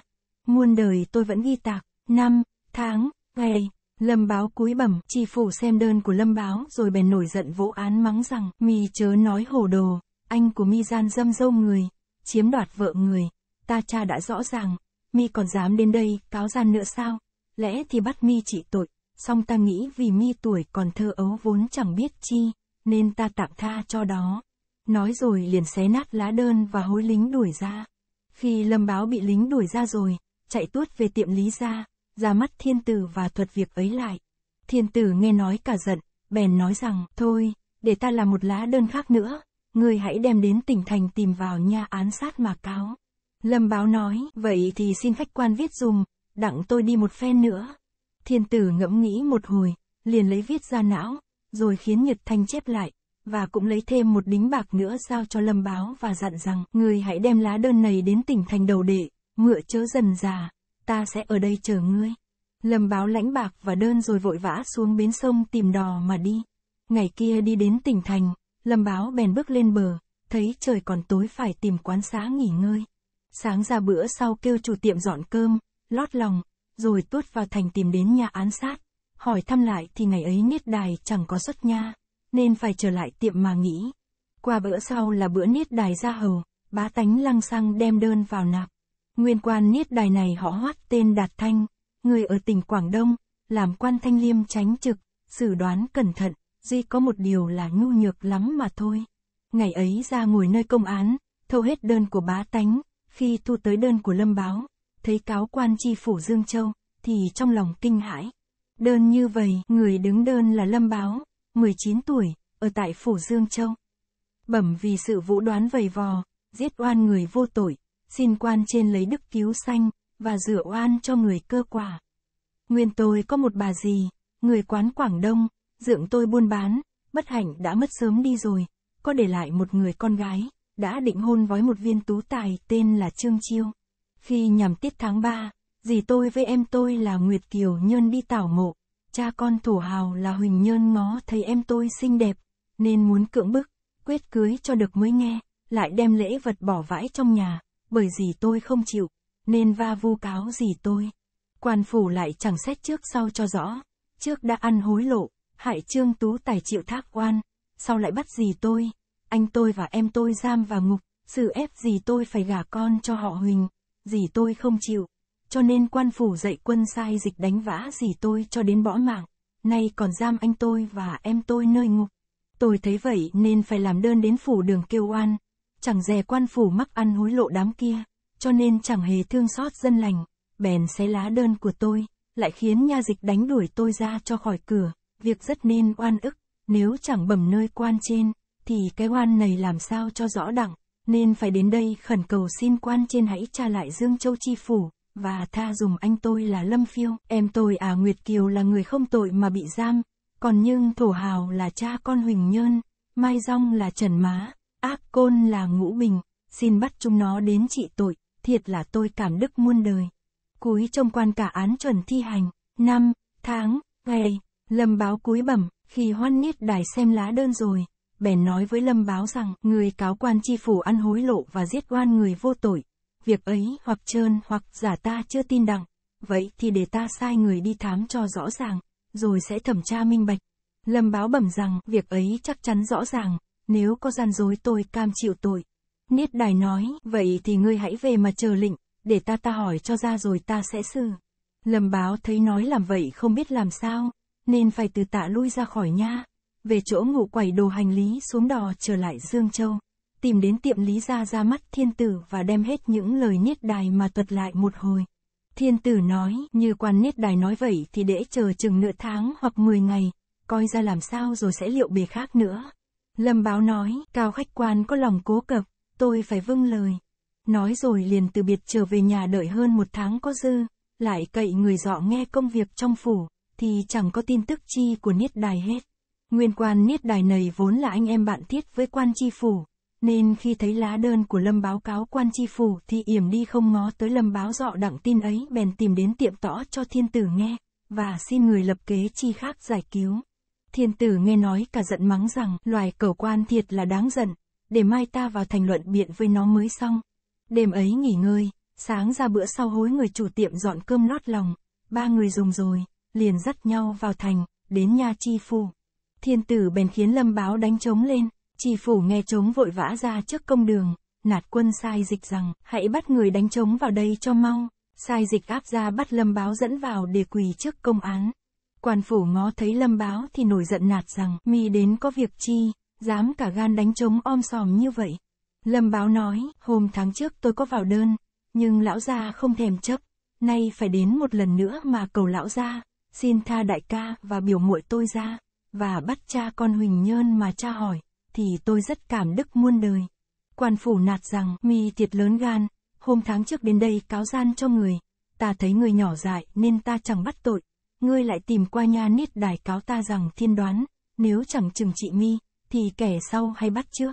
Nói rồi liền khiến kẻ tả hữu đè xuống mà đánh một trăm roi. Thiên tử liền bước tới nói rằng, ngươi làm quan phủ, sao lại hiếp đáp bá tánh như vậy, đã giết oan trương tú tài và đánh chết Dương Thị là người vô tội. Ấy cũng là lớn gan về sự làm quấy đã rồi, nay còn dám đánh hiếp người lương thiện nữa sao, ta khuyên ngươi hay nghe lời ta, phải mau mau thả Lâm Phiêu và Nguyệt Kiều ra, bằng dụ dự thì phép vua ngươi khó thoát. Chi phủ nạt rằng, người ở đâu dám đến đây mà nói lẽ thể ấy, người biết chỗ này là chỗ chi chăng? Thiên tử nói, giá chi một cái nhà chi phủ như vậy, nơi tướng phủ kia ta còn coi cũng như không. Chi phủ nói, ngươi khi bổn phủ là nhỏ, để ta làm cho mi biết lợi hại thế nào. Nói rồi liền nạt quân sai dịch đuổi ra, quân sai dịch vâng lịch ảo ra, bị thiên tử tay thoi chân đá, quân sai dịch ngã lăn, chi phủ liệu thế không xong, liền chạy vào nhà trong, xảy có mấy mươi sai dịch tay cầm binh khí áp ra phủ vây thiên tử. Lúc ấy Lâm Báo và Nhật Thanh thấy việc chẳng hiền, nên đã chạy trước ra ngoài. Còn thiên tử thấy có một tên sai dịch cầm thương đâm tới liền né qua một bên, rồi thừa cơ giật đẳng cây thương đánh với bọn kia mở đường chạy tuốt ra ngoài, quân sai dịch rượt theo. Thiên tử vừa đánh vừa chạy tuốt ra khỏi thành, vừa đến mã vương miễu. Nói về đường hoán, từ ngày cứu giá đến nơi anh võ viện đến sau, đã ghe phen muốn vào kinh sư, ngặt không tiền lộ phí, lại không dám về anh võ viện, nên phải lánh mặt đi xa, đi dọc đường cứ chuyên một nghề mãi võ mà nuôi miệng, đến Dương Châu đã hơn một tháng. Ngày ấy vừa muốn khai tràng mãi võ nơi miễu ma vương, bỗng thấy một người tay cầm thương bén, hơ hải chạy tới, còn sau lưng hơn mấy mươi người đều cầm binh khí rượt theo. Đường hoán coi kỹ lại, mới biết là thiên tử, mà mình đã gặp nơi anh võ viện lúc trước. Trong lòng thất kinh liền ngươi thiết côn sốc ra kêu lớn lên rằng, cao lão gia chớ sợ, có tôi đến đây. Thiên tử coi lại thì là đường hoán. Hai người liền hiệp lực trở lại rượt đánh. Quân sai dịch rượt theo vừa đến bị đường hoán hơi thiết côn đánh lia. Đánh thôi. Quân sai dịch kẻ bể đầu, người nát óc, máu chảy rầm rề, liền dắt nhau chạy ráo. Đường hoán vừa muốn đuổi theo, thiên tử cản lại mà nói rằng, chớ rượt nữa làm chi, hãy theo chấm về tiệm rồi sẽ chuyện vãn với nhau. Đường hoán liền dẹp hết võ cụ, theo thiên tử về tiệm. Nhật Thanh và Lâm Báo đang ở trong mà chờ, thấy thiên tử về tới thì mừng rỡ hỏi thăm. Thiên tử bèn đem việc đường hoán dốc sức mà thuật lại một hồi, rồi xuất tiền ra trao cho chủ tiệm đi mua ngỗng, và rượu, thịt về làm tiệc đặng có ăn uống với nhau. Rồi đó thiên tử hỏi đường hoán rằng, đường khanh, từ ngày biệt chấm nơi anh võ quán đến nay bề ăn ở thế nào? Đường hoán nói, từ tôi cách biệt thánh thượng đến sau, chẳng dám trở về anh võ viện, cũng muốn tìm xuống kinh sư, song không biết thánh thượng đã về chào hay chưa, nên chưa dám ra đi, phần thì lộ phí không có nên phải chuyên nghề mãi võ cho qua ngày, còn thánh thượng chẳng hay vì cớ chi mà bị chúng quân rượt theo giữ vậy. Thánh thiên tử nói, ấy cũng là tại tánh chấm hào hiệp, thấy sự bất bình thì không nín đặng nên mới có chuyện như vậy. Nói rồi bèn đem việc gặp lâm báo khóc lóc dọc đường, đầu đuôi thuật hết một hồi rồi lại hỏi rằng, chẳng hay đường khanh ở đâu, có anh em chi chăng? Đặng có dùng một trước cho hay mà cứu lâm phiêu, Nguyệt Kiều ra, và giết phứt chi phủ ấy đi mà trả hờn cho chấm. Đường hoán tâu rằng, thánh thượng là một vị thiên tử, xin chớ làm điều nguy hiểm như vậy, hãy là một tờ mật chỉ, giao cho chiết giang tuần phủ lấy lẽ công mà xử đoán, vã chăng hôm trước đây, có một người tùng nhơn mang bệnh ở tại nơi tiệm đường ra. Tôi cho thuốc mạnh rồi, bèn hỏi thăm người chủ là ai, người ấy xưng mình là kẻ tùng nhơn của quan khâm mạng tuần giang bá tổng đốc, nhơn đến đây phòng sát dân tình, vậy xin thánh thượng giao cho người biện thẩm vụ này thì mới tiện cho, chớ chẳng nên đạp vào nơi nguy hiểm. Thiên tử nói, bá đạt đến đây phen này chắc là tìm chấm về chào, ý chấm cũng muốn về chào đã lâu, ngặt vì vụ này chưa xong, về không an dạ, vậy thì Khanh hãy đi đến tiệm ấy nói với kẻ Tùng Nhơn, và giao cái nang chỉ của trẫm cho Khanh lúc trước đó cho hắn, biểu hắn dâng cho bá đạt. Hễ bá đạt xem thấy thì phải ra mặt với Khanh, chừng ấy Khanh sẽ nói thiệt với bá đạt rằng chấm ở tại xài gia thành, lại dặn va, hễ khi thấy chấm thì đừng có làm đại lễ mà thiên hạ biết. Đường hoán vâng mạng, kế lấy chủ tiệm dọn ra một tiệc bỉ bàn, mấy người đều ngồi lại ăn uống, ăn uống rồi bèn phân nhau đi nghỉ, sáng ra bữa sau, thiên tử dậy lâm báo về nhà, còn đường hoán thì trở qua tiệm đường ra. Khi hai người đi rồi, thiên tử bèn tính tiền cơm, tiền phòng trả cho tiệm, rồi rất nhiệt thanh trở về xài gia trang. Xài viên ngoại chạy ra rước vào mừng và hỏi thăm rằng, hôm nay anh xui dạo chơi xứ nào? Thiên tử nói, tôi đi cùng các xứ, chỗ nào cũng có dạo chơi. Chuyện vãn một hồi, rồi bước qua đông thính thay đồ mà nghĩ. Nói về đường hoán qua đến tiệm đường ra và nói với kẻ tùng nhân ấy rằng, này ta vâng mạng cao thiên tứ lão ra, muốn ra mắt chủ ngươi, như không tin, thì đem cây nang chỉ nầy giao cho người xem thì rõ minh bạch. Kẻ tùng nhơn lãnh cây nang chỉ đem vào, chẳng bao lâu liền trở ra nói với đường hoán rằng, chủ tôi thỉnh ngài vào trong, đường hoán nói, xin dắt dùm tôi vào, tùng nhơn dắt đường hoán vào ra mắt bá chế quân, bá chế quân bèn hỏi rằng, chẳng hay thai huynh tên họ là chi, ở tại đâu mà gặp đặng thánh thượng, xin hãy ngồi đây nói chuyện cùng nhau. Đường hoán nói, đại nhơn ngồi đó tôi đâu dám ngồi. Bá chế quân nói, thai huynh vâng mạng chúa tới đây, thì khác chi như một vị khâm sai, có lý nào chẳng dám ngồi. Đường hoán thấy bá chế quân khiêm nhường lắm, nên phải cáo lỗi rồi mới ngồi xuống mà nói rằng, tôi họ đường tên hoán, người ở tỉnh Phước Kiến, lúc trước tôi ở nơi anh võ viện của Diệp Hoàng Cơ là em của Diệp binh bộ mà làm giáo đầu. Nhơn vì thánh chúa vào đó xem chơi, sau gây việc ra, bị sắp gia đình vây khổn, tôi đang ngủ ngày, có thần nhơn mách bảo, nên tôi mới hay mà cứu giá. Thánh thượng bèn cho tôi một cái nang chỉ, rồi chúa tôi phân biệt nhau ai đi đảng nấy. Từ ấy đến nay tôi trôi nổi giang hồ, gì có mái võ mà độ nhược. Mới đây tôi đến Dương Châu ở tại miễu mã vương mãi võ, thì gặp thánh thượng cũng đương bị khổn. Tôi liều ra sức bảo giá đặng an, rồi dắt nhau về tiệm, chúa tôi chuyện vãn với nhau, mới hay chi phủ Dương Châu ăn hối lộ mà giết oan người vô tội. Nói rồi liền đem chuyện Huỳnh Nhơn muốn cưới thiếp Nguyệt Kiều và Thiên Tử làm đơn dùng cho lâm báo. Quan phủ chẳng chấp, lại xé mà quăng đi, đầu đuôi nhứt nhứt thuật hết một hồi. Rồi lại nói rằng, nay nghe đại nhơn đã đến đây, nên tôi vâng mạng thánh thượng đến đây cậy đại nhơn biện tra vụ ấy. Bá chế quân nghe nói bèn trả lời rằng, tôi cũng đang lo tìm kiếm thánh thượng hơn mấy tháng nay mà không gặp. Nay may mà người ở đây, xin thai huynh dắt tôi đến nơi đặc lại mừng thánh thượng, ước có nên chăng? Đường Hoán nói, lúc tôi ra đi, thì Thánh Thượng có dặn tôi rằng, người về ở tại Sài Gia Trang, như đại nhân có đến ra mắt thì chớ có làm đại lễ mà thiên hạ biết, duy làm theo bằng hữu mà thôi. Bá chế quân nói, nếu có mạng vua thì tôi phải vâng theo, nói rồi liền dẫn hai đứa tùng nhơn theo đường hoán thẳng đến Sài Gia Trang. Khi đến nơi khiến người thông báo, thiên tử liền cho Nhật Thanh ra rước vào trong, hai người theo Nhật Thanh vào đến thơ phòng, lấy lễ thường mà ra mắt thiên tử. Lúc ấy thiên tử giã là một đạo mật chỉ sẵn rồi, bèn khiến Nhật Thanh lấy ra trao cho bá đạt và dặn rằng, Khanh hãy cứ y theo đó mà làm. Bá đạt lãnh tờ mật chỉ rồi, lại lấy tờ ý chỉ của Thái Hậu mà dâng cho thiên tử và tâu rằng, xin Thánh Thượng hãy tuân theo trong chỉ ấy, ngựa chớ ở lâu, mà Thái Hậu nhọc lòng trông đợi. Thiên tử nói, ta đã hiểu rồi, để chờ vụ này cho xong thì ta sẽ trở về, Khanh hãy dắt đường Khanh theo với mà biện việc ấy cho xong. Bá chế quân dâm lĩnh, rồi với đường hoán dắt kẻ tùng nhơn trở về chỗ ngụ mở thánh chỉ mà xem. Tờ mật chỉ như vậy, vâng trời nương vận, hoàng đế chiếu rằng, trẫm đi dạo chơi giang nam đây. Một là tìm kẻ hiền lương, hai là tra sát quân gian nịnh. Hôm tháng trước đến phủ Dương Châu gặp một người tuổi trẻ tên là Lâm Báo khóc lóc cũng đường. Trẫm hỏi ra duyên cớ thì người trẻ ấy nói rằng, dượng nó là ân kế phong, Dì nó là Dương Thị Xanh đặng một đứa con gái tên là Nguyệt Kiều, dượng nó chẳng may mất sớm, dì nó mẹ quá con côi, hủ hỉ mẹ con cho qua ngày tháng, mới hồi tháng 3 năm nay, hai mẹ con dắt nhau đi tảo mộ, bị cha con Huỳnh Nhơn ngó thấy Nguyệt Kiều vốn có nhan sắc, nên muốn cưỡng bức mà cưới cho đặng, lại đem lễ vật bỏ vãi trong nhà, hai mẹ con Dương Thị từ chối, rằng mình đã hứa gã cho Trương Tú Tài rồi. Huỳnh Nhơn lại âm mưu hạ thác Trương Tú Tài đi, rồi làm hôn thơ giả và hối lộ với tri phủ là Quế Văn Phương Vu cho Dương Thị loại hôn và giật cùa.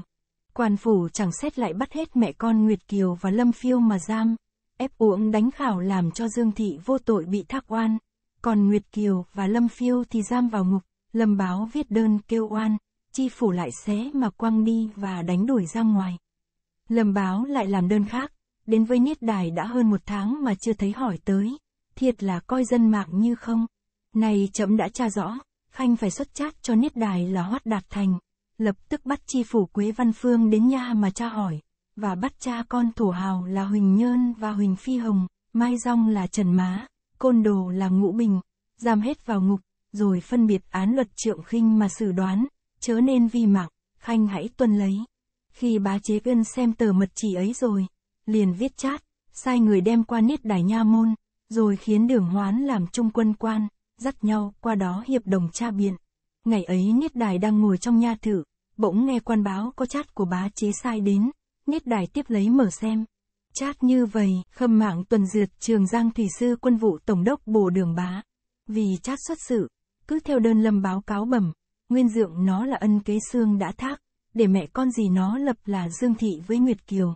Nhân lúc tháng 3 năm nay dắt nhau đi tảo mộ, bị cha con thổ hào là Huỳnh Nhơn ngó thấy Nguyệt Kiều có nhan sắc, muốn cưới về làm dâu. Dương Thị có nói rằng con mình đã hứa gã cho tú tài trương chiêu, không lẽ mà gả hai chồng. Thổ hào lại sai người đem đồ lễ vật bỏ vãi trong nhà. Dương Thị chẳng chịu, thổ hào lại vu rằng loại hôn, rồi hối lộ với quan phủ mà hiếp bức cho Dương Thị với Trương Tú Tài chết đi, lại bắt Nguyệt Kiều với Lâm Phiêu giam nữa, vì sự oan ức nên nó đã có đến nha chi phủ đặng cầu tha, quan phủ lại giận mà xé đơn rồi lại đuổi nó ra. Này ta đã rõ những điều tình tệ nên phải, phú cho gai ti tuân chiếu biển, hễ chát đến ngày nào thì phải lập tức truyền đòi chi phủ Quế Văn Phương đến án đường mà hầu cha, và phải bắt cho đặng cha con Huỳnh Nhơn, cùng Trần Má với Ngũ Bình giam lại mà cha hỏi. Chớ nên trễ nải, phải tuân theo chát này, khi hoạt niết đài đặng chát của bá chế quân rồi, thì chẳng dám trễ này, vội vàng cho đòi chi phủ đến nha mà hầu cha, lại khiến quân sai dịch đi bắt Huỳnh Nhơn, Phi Hồng, Trần Má và Ngũ Bình đem về giam hết vào ngục, lại sai người qua bên nha chi phủ mở ngục tha Nguyệt Kiều và Lâm Phiêu ra, rồi dắt hết về nha để quỳ trước công án. Hoán Niết Đài bèn lấy lời dịu ngọt mà vỗ về rằng, ta đã rõ biết những việc oan ức của mi nên nay ta tha hai anh em mi về nhà, và phải làm tội hành hình cha con Huỳnh Nhơn mà báo cừu cho mẹ và chồng mi. Nguyệt Kiều nghe nói vùng khóc giống lên, Hoán Niết Đài bảo, này ta đã quyết báo cừu cho mi, sao mi còn khóc là cớ chi vậy? Nguyệt Kiều nói, chồng tôi bị cha con Huỳnh Nhơn mà thác, vậy xin đại nhân cho tôi đến nơi mộ chồng tôi mà lại một phen, thì tôi đội ơn đại nhân vô cùng. Niết Đài nói, nếu mi muốn như vậy thì để ta cho người đi với mi. Nói rồi liền sai người dắt Nguyệt Kiều đến mộ trương tú tài. Nguyệt Kiều vừa ngó thấy mộ, liền lăn khóc một hồi rồi đập đầu vào bia đá mà thác. Tuy đã thác rồi mà thây không chịu ngã, người ấy sững sốt vội vã chạy về bẩm lại cho quan niết đài hay. Quan niết đài thất kinh liền đi theo người ấy đến đó mà coi, thấy thây đứng chơi như sống, mặt không đổi sắc, bèn hứa rằng, thôi, để ta đem cha con Huỳnh Nhơn đến đây mà chém. Còn Trần Má và Ngũ Bình thì mỗi đứa đánh một trăm roi, rồi đóng gông cả hai chói để nơi trước mộ cho đủ một tháng mà gian chúng. Quế chi phủ thì ta lại đẩy ra trốn quân đài đặng lấy công mà chuộc tội. Quan Niết Đài liền trở về nha làm văn thơ gửi cho bá chế quân xin tâu cho chào đình hay, đặng truyền cho quan địa phương lập miếu mà thờ, bốn mùa tế tự. Nói về đường hoán đã biện cái án ấy xong rồi liền từ giã bá chế quân trở về xài ra trang mà tâu hết đầu đuôi cho thiên tử hay. Thiên tử nghe đến việc Nguyệt Kiều liều mình mà thác thì khen rằng, thiệt rõ ràng là trang liệt nữ. Thiên tử khen rồi viết một bức chiếu chỉ giao cho Hoát Niết Đài đem về kinh đặng thăng bố đi nơi khác. Hoát Niết Đài lãnh chiếu đem về kinh giao cho quan lại học sĩ là Lưu Dung. Lưu Dung tiếp lấy rồi mở ra xem, chiếu rằng, vâng trời nương vận hoàng đế chiếu rằng, chấm đạo chơi Giang Nam, đi ngang qua Dương Châu thấy có một người liệt nữ tên là Nguyệt Kiều, đã hứa gã cho Trương Tú Tài mà chưa kịp cưới, bị thổ hào là Huỳnh nhơn cưỡng bức mà cưới, lại hối lộ với chi phủ là Quế Văn Phương bắt chồng giam cho đến chết, lại còn bắt Nguyệt Kiều cầm ngục, khi chấm hay đặng thì chấm khiến hoạt án sát tha nàng ấy ra, chẳng dè nàng lại đến nơi mã chồng than khóc, rồi đập đầu vào bia đá mà thác đi. Khi thác rồi thây không ngã, Chấm thấy người trinh tiết như ấy thiệt rất đáng thương, khanh hãy khiến quan địa phương lập tại chỗ đó một liệt nữ tử, bốn mùa tế tự cho an trinh hồn, phải xuất bạc kho tại sư ấy ra chừng vài ngàn lượng mua đền sản, lấy huê lợi chi phí việc tế tự mỗi năm, khanh hãy tuân theo mà làm, chớ phụ ý chậm, khi Lưu Dung đọc chiếu rồi, liền tuân theo đó, khiến quan địa phương tại Phủ Dương Châu lo lập liệt nữ tử, và xuất bạc kho ra hai ngàn lượng mua điền sản, bốn mùa tế tự hương hòa chẳng dứt. Đến sau thường hay hiền thánh hò hộ dân gian, còn hoạt đạt thành thì thăng lên chức bố tránh, bổ đi chấn nhậm lại chiết giang. Nói về thiên tử từ ngày hạ chỉ rồi, nhưng còn nghĩ Nguyệt Kiều trinh tiết, người mẹ là Dương Thị lại bị chi phủ đánh chết, thương tiếc chẳng cùng. Bèn viết một tờ mật chiếu, khiến Lâm Phiêu nối dòng cho ân kế xương mà giữ phần hương hỏa. Còn những sự nghiệp của ân kế xương cũng giao lại cho Lâm Phiêu gìn giữ và thưởng thêm một ngàn lượng bạc cho Lâm Phiêu để cưới vợ. Như sau có sanh đặng con trai thì để một đứa nối dòng cho Trương Chiêu. Lại thưởng áo mão theo hàng thất phẩm. Bồ làm chức bá tổng, cho học chập cung mã. Chừng nào Lâm Phiêu học đặng tinh thục rồi sẽ đến chỗ nhậm lãnh chức cho tỏ lòng trung nghĩa. Khi viết mật chỉ rồi liền giao cho Lâm báo, khiến đem trao lại cho anh, lại dặn dò chẳng cần chi phải đến tạ ơn.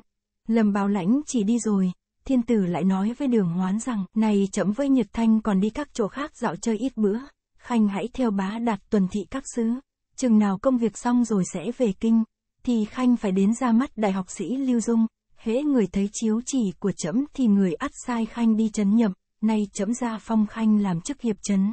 Nói rồi liền viết một tờ mật chỉ giao cho đường hoán. Đường hoán lãnh chỉ rồi cúi đầu tạ ơn lui ra, tìm qua theo bá chế quân đi tuần thị các xứ. chương 24, hồi 24, nói về thiên tử thưởng 2.000 lượng bạc cho quan địa phương lập miễu liệt nữ từ mà thờ Nguyệt Kiều, lại ra ơn nhuần phong quan chức và thưởng bạc cho Lâm Phiêu, rồi lại viết một tờ mật chỉ giao cho đường hoán.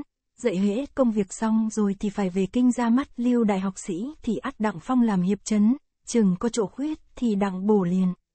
Đường hoán tạ ơn lãnh chỉ đi, liền, rồi đó thiên tử và nhật thanh từ biệt xài ra trang dạo chơi chỗ khác, đi đến một chỗ kia, nhà cửa đông đầy, thiên hạ đông đảo, kêu là chợ tầm phương thị, lúc ấy trời đã trưa rồi, hai người bèn vào chỗ tiểu lầu, mười phần u nhà, trên có tấm biển hiệu đề ba chữ lớn bằng vàng, đãi nguyệt lầu, hai cha con lựa một bàn, sạch sẽ mà ngồi, tiểu nhị dâng trà xong, thiên tử kêu tử bảo dặn dò uống rượu, cha con vừa uống đặng vài tuần, bỗng nghe dưới lầu có tiếng cãi lẫy om sòm, không biết là việc chi, trong giây lát lại nghe có tiếng nói rằng, thằng du côn, mi đã uống rượu sao không trả tiền. Rồi lại nghe có tiếng trả lời rằng, ta là tái kim cang thuở nay thường thường như vậy, mi dám đòi tiền ta sao? Chủ tiệm hỏi nữa thì nó xoang tay xoang trơn mà đánh, thiên hạ tư đến đổi đầy. Tên du côn ấy lại rút ra một cặp trước diệp bảng đao nặng hơn mười mấy cân, hơi lia chém lịa, những người trong tiệm đều chạy trốn hết.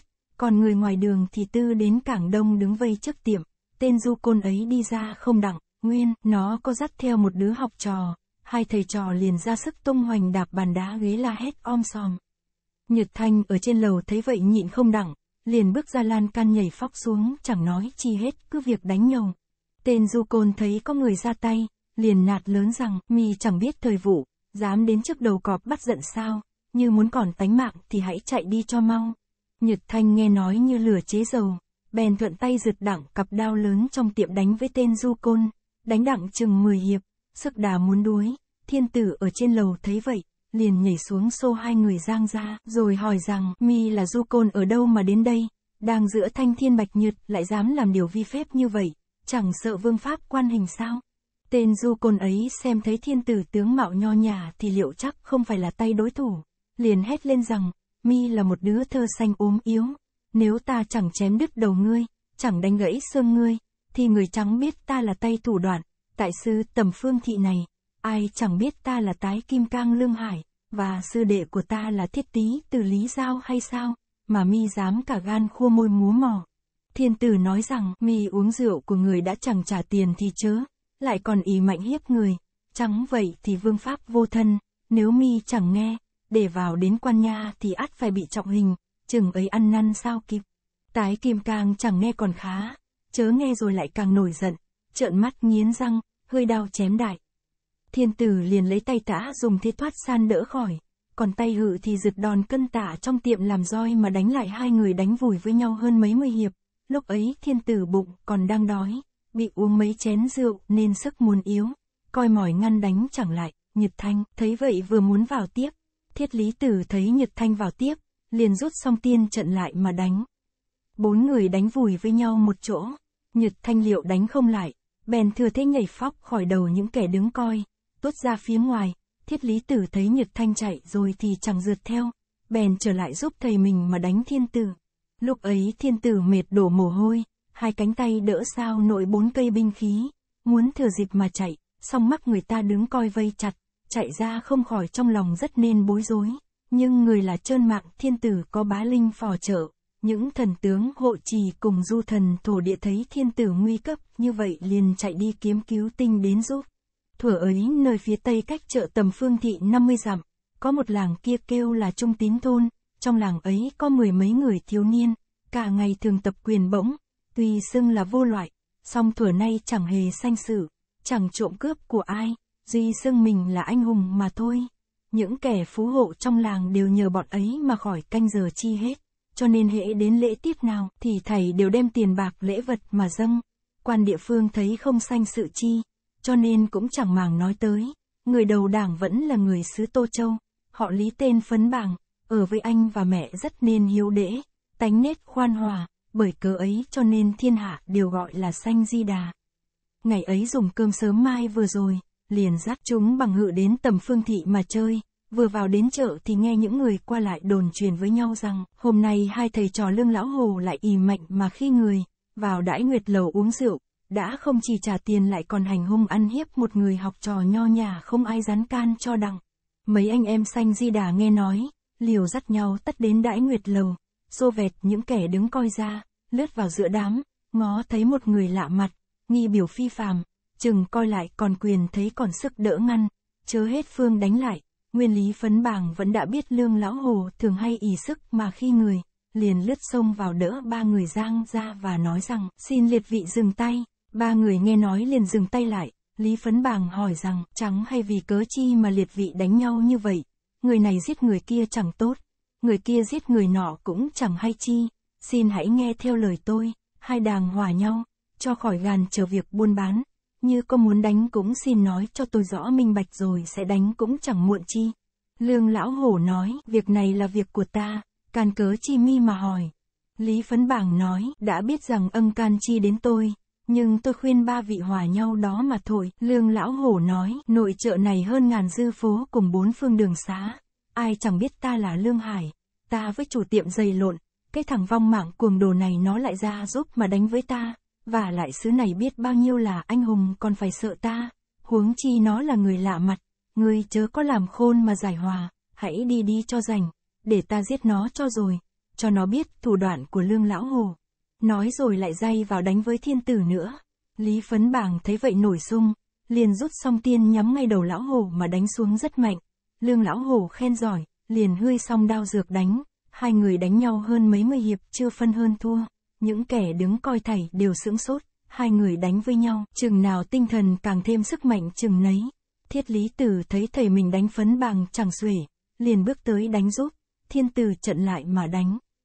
Còn lương lão hổ liệu đánh phấn bằng chẳng đặng, bèn nghiêng mình né qua rồi dây lại chém ngang hông một dao rất mạnh, phấn bàng lẹ mắt, tràn lại một bên, mà tránh, lão hổ liền dùng xuống, hơi song đao chém quyết qua một cái. Phấn bàng dậm trơn nhảy lên, tay tả cầm roi đỡ vẹt ra, còn tay hửu thì hơi roi đánh xuống. Lão hổ né chẳng kịp, bị chúng nhầm một roi, từ trên đầu chợt xuống tới vai, lại đánh bồi thêm một roi ngừa. Lương lão hổ chết tốt, thiết lý tử thấy thầy đã chết trong lòng sớn xác vừa chậm tay một chút, bị thiên tử đánh cho một đòn cân, thầy trò liền theo nhau một lượt. Những kẻ đứng coi thầy đều khen dậy, rồi đem nhau tản lần đi hết, trời đã gần tối, chủ tiệm chạy ra mời vào tiệm uống trà và khen tạ chẳng cùng, rồi lại nói rằng, chẳng biết nhị vị tên họ là chi, quê quán ở đâu, hôm nay tuy là vì tiệm tôi mà trừ loài hung bảo, ngặt vì hai cái nhân mạng tại đó, nếu quan trên hay đẳng thì liệu làm sao? Thiên tử nói, tôi là người ở Bắc Kinh, họ cao tên thiên tứ, nhơn đi với con tôi là Nhật Thanh đến đây thăm bạn hữu nãy giờ mắc đánh lộn, không biết nó chạy đi đâu. Nói chưa dứt lời Nhật Thanh đã bước vào tiệm, chủ tiệm cũng mời vào uống trà. Thiên tử bèn hỏi người chủ tiệm ấy rằng, chẳng hay ông chủ tiệm tên họ là chi, quê quán ở đâu đến đây buôn bán đã bao lâu rồi. Người chủ tiệm đáp rằng, tôi là người ở Chiết Giang, họ khu tên Vấn, hiệp với bạn đồng hương. Đến đây lập cách từ lầu này mới đặng ba bốn tháng nay, chẳng hay ông này tên họ là chi, mà anh hùng thế ấy. Lý Phấn Bảng nói, tôi ở lại làng Trung Tín Thôn, cách chợ này năm chục dặm, họ Lý tên Phấn Bảng, bổn hiệu là Xanh Di Đà, nhơn dắt anh em dạo chơi đến đây, gặp việc bất bình nên phải ra tay cứu giúp. Chủ tiệm liền mời hết mấy người bạn hữu vào tiệm hỏi thăm tên họ và mời uống trà, rồi thương nghị với nhau về việc hai cây nhân mạng ấy. Thiên tử nói, việc ấy chưa lo, quan phủ tại đây là bạn chi giao với tôi để tôi tính thì xong. Nói rồi liền lên lầu, lén viết một tờ mật chỉ, giao cho Nhật Thanh đem cho quan phủ. Nói về quan phủ sự ấy vẫn là người ở Hồ Nam, họ Huỳnh tên Trung Tồn, làm quan rất nên thanh tránh, thiên tử vẫn thường nghe đanh, cho nên viết mật chỉ sai Nhật Thanh đem đi, trong tờ mật chỉ, có dặn rằng, Khanh hãy bỏ qua cái án ấy đi, và cũng đừng đến mà nhìn chấm sợ e người ngoài biết đặng. Khi Nhược Thanh đi rồi bèn chợ ỉa tiệm, cùng nhau vầy tiệc ăn uống chuyện trò. Thiên tử bèn hỏi phấn bàng rằng, này Lý Huynh có làm nghề nghiệp chi chẳng? Phấn bàng nói, tôi nhơn nhà nghèo không có nghề chi làm ăn, duy cứ mỗi ngày dạy võ mà nuôi miệng, cũng thường muốn rủ anh em đi xuống đầu quân, đặng ra sức với trào đình mà lập thân, ngặt không biết chỗ nào mà đến, phần thì không ai tiến dẫn, lại thêm lúc này là lúc Thái Bình, võ tướng cũng chẳng ai dùng, cho nên phải chịu mai một ngày nào qua ngày nấy. Thiên tử nói, việc ấy rất dễ, quan đề đài tỉnh này là Lý Công cũng là anh em tôi, như Lý Huynh chịu đi, thì đi với tôi, đến ra mắt, quan đề đài thì người ắt dùng, chừng có chỗ khuyết thì lại dùng dịp ấy mà xuất thân rất dễ. Lý Phấn Bàng cả mừng liền đứng dậy tạ ơn rằng, mong ơn cao lão gia có lòng tiến dẫn, thiệt ơn rất sâu, nhưng ở nhà tôi còn có mẹ già, xin để cho tôi về bẩm lại rồi tôi sẽ đến. Ước đặng cùng chăng, thiên tử nói, lẽ thì phải vậy, xong đêm nay tôi tính đi qua xứ khác khó đợi anh, vậy thì tôi viết một bức thơ, anh cầm đem đến ra mắt, quan đề đài cũng đặng, xong người có hỏi thăm tôi, thì anh nói tôi đã đi rồi. Dặn rồi liền viết một tờ mật chỉ phong nghiêm tử tế giao cho phấn bảng. Phấn bảng lãnh thơ rồi từ tạ đi liền. Khi thiên tử thấy Lý Phấn bảng đi rồi bèn từ biệt chủ tiệm dắt Nhật Thanh đi tìm nhà khách sạn nghỉ một đêm sáng ra bữa sau liền quẩy gói dạo chơi nơi khác. Trừng Huỳnh Chi Phủ đến tiệm tìm thì người đã đi rồi. Bèn trở về nhà mà biện sự và dạy người đem chôn hai thây thầy trò lương lão hồ. Nói về Lý Phấn bảng đặng thơ tiến cử thì mừng rỡ bội phần, khi về đến nhà liền thưa với mẹ rằng, hôm nay con đi chơi với mấy anh em ra đến tấm phương thị, gặp một người ở xa đang đánh lộn với lương lão hổ tại tiêm đãi nguyệt lầu. Tôi bèn đánh chết lương lão hổ, chẳng ngờ người ấy là bạn thiết với quan tri phủ, cho nên cái án ấy đã bỏ qua. Không ai truy cừ, người ấy là người ở Bắc Kinh họ cao tên Thiên Tứ, lại là bà cọn với quan đề đài tỉnh này, cho nên người tiến cử tôi cho quan đề đài hễ có khuyết đâu thì bổ đó. Nay tôi bẩm cho mẹ hay đặng ngày mai tôi đến đó trao thơ, chắc làm sao cũng đặng chô xuất thân. Nguyên phấn bảng có một người anh, tên là Phấn Biêu, cũng là người nghĩa khí thâm trưởng, võ nghệ cũng tinh thục, song chẳng bằng người em. Này nghe em nói vậy thì mừng, chờ cho em lập đặng thân rồi thì sẽ theo em mà ra sức với triều đình. Khi Lý Phấn Bảng từ biệt mẹ và anh rồi liền tìm đến nha môn quan đề đài, trao bức thơ ấy cho người giữ cửa mà vào. Quan đề đài xem thơ rồi liền vội vã sai người ra thỉnh phấn bảng vào rồi mời ngồi. Phấn bảng nói, đại nhơn là người trên trước, tôi đâu dám ngồi ngang. Quan đề đài nói, người mà nhơn huynh gặp đó là đương kim thiên tử, nhơn huynh chẳng biết hay sao. Lý phấn bảng nghe nói, chừng ấy mới biết cao thiên tứ là đương kim hoàng đế, trong lòng cả mừng. Rồi đó quan đề đài bèn truyền quân dọn bàn hương án rồi mở chiếu ra đọc rằng, vầng trời nương vận, hoàng đế chiếu rằng, Nay, trẫm dạo chơi đến đây có nghe danh khanh là người mưu, gióng, lại hết lòng vì nước vì dân, thiệt đáng tôi lương, đống, trẫm lại gặp Lý Phấn Bàng là người trung dũng, lưỡng toàn, nên khiến và đến theo làm bộ hạ, như có, khuyết chức chi chừng lối tam tứ phẩm thì phải bổ lý, phấn bàng vào đó, chờ trẫm về chào thì trẫm sẽ triệu về, mà dùng, khanh thấy chiếu này thì phải tuân theo, và, chẳng cần phải đến ra mắt trẫm làm chi, nội ngày mai, trẫm đi xứ khác du ngoạn, khanh hãy tuân lấy. Quan đề đài đọc chiếu rồi liền dây qua phía bắc tạ ẩn rồi đòi chị Nhật quan vào dậy điểm tra lại. thì có khuyết một chức đô phủ, liền khiến Lý Phấn Bảng bái tạ và lãnh văn bảng rồi từ biệt đi ra chỗ nhầm. Đến sau vua triệu về kinh cho làm quan lớn rất nên vinh hiển. Nói về thiên tử và nhật thanh đi tới một làng kia mười phần u nhả, thương tòng trăm cội, túy trúc ngàn cây hoa trổ sắc ngần, nước khoe màu bích, trên nhành chim múa, dưới suối cá đua, phong cảnh rườm rà, trăm hoa đua nở. Thiên tử và Nhật Thanh xem chơi mê mẩn, còn đang ngó nước nhìn hoa, bỗng nghe tiếng sấm nổ vang, dường như đá lăn núi sập, thiên tử và Nhật Thanh cả kinh.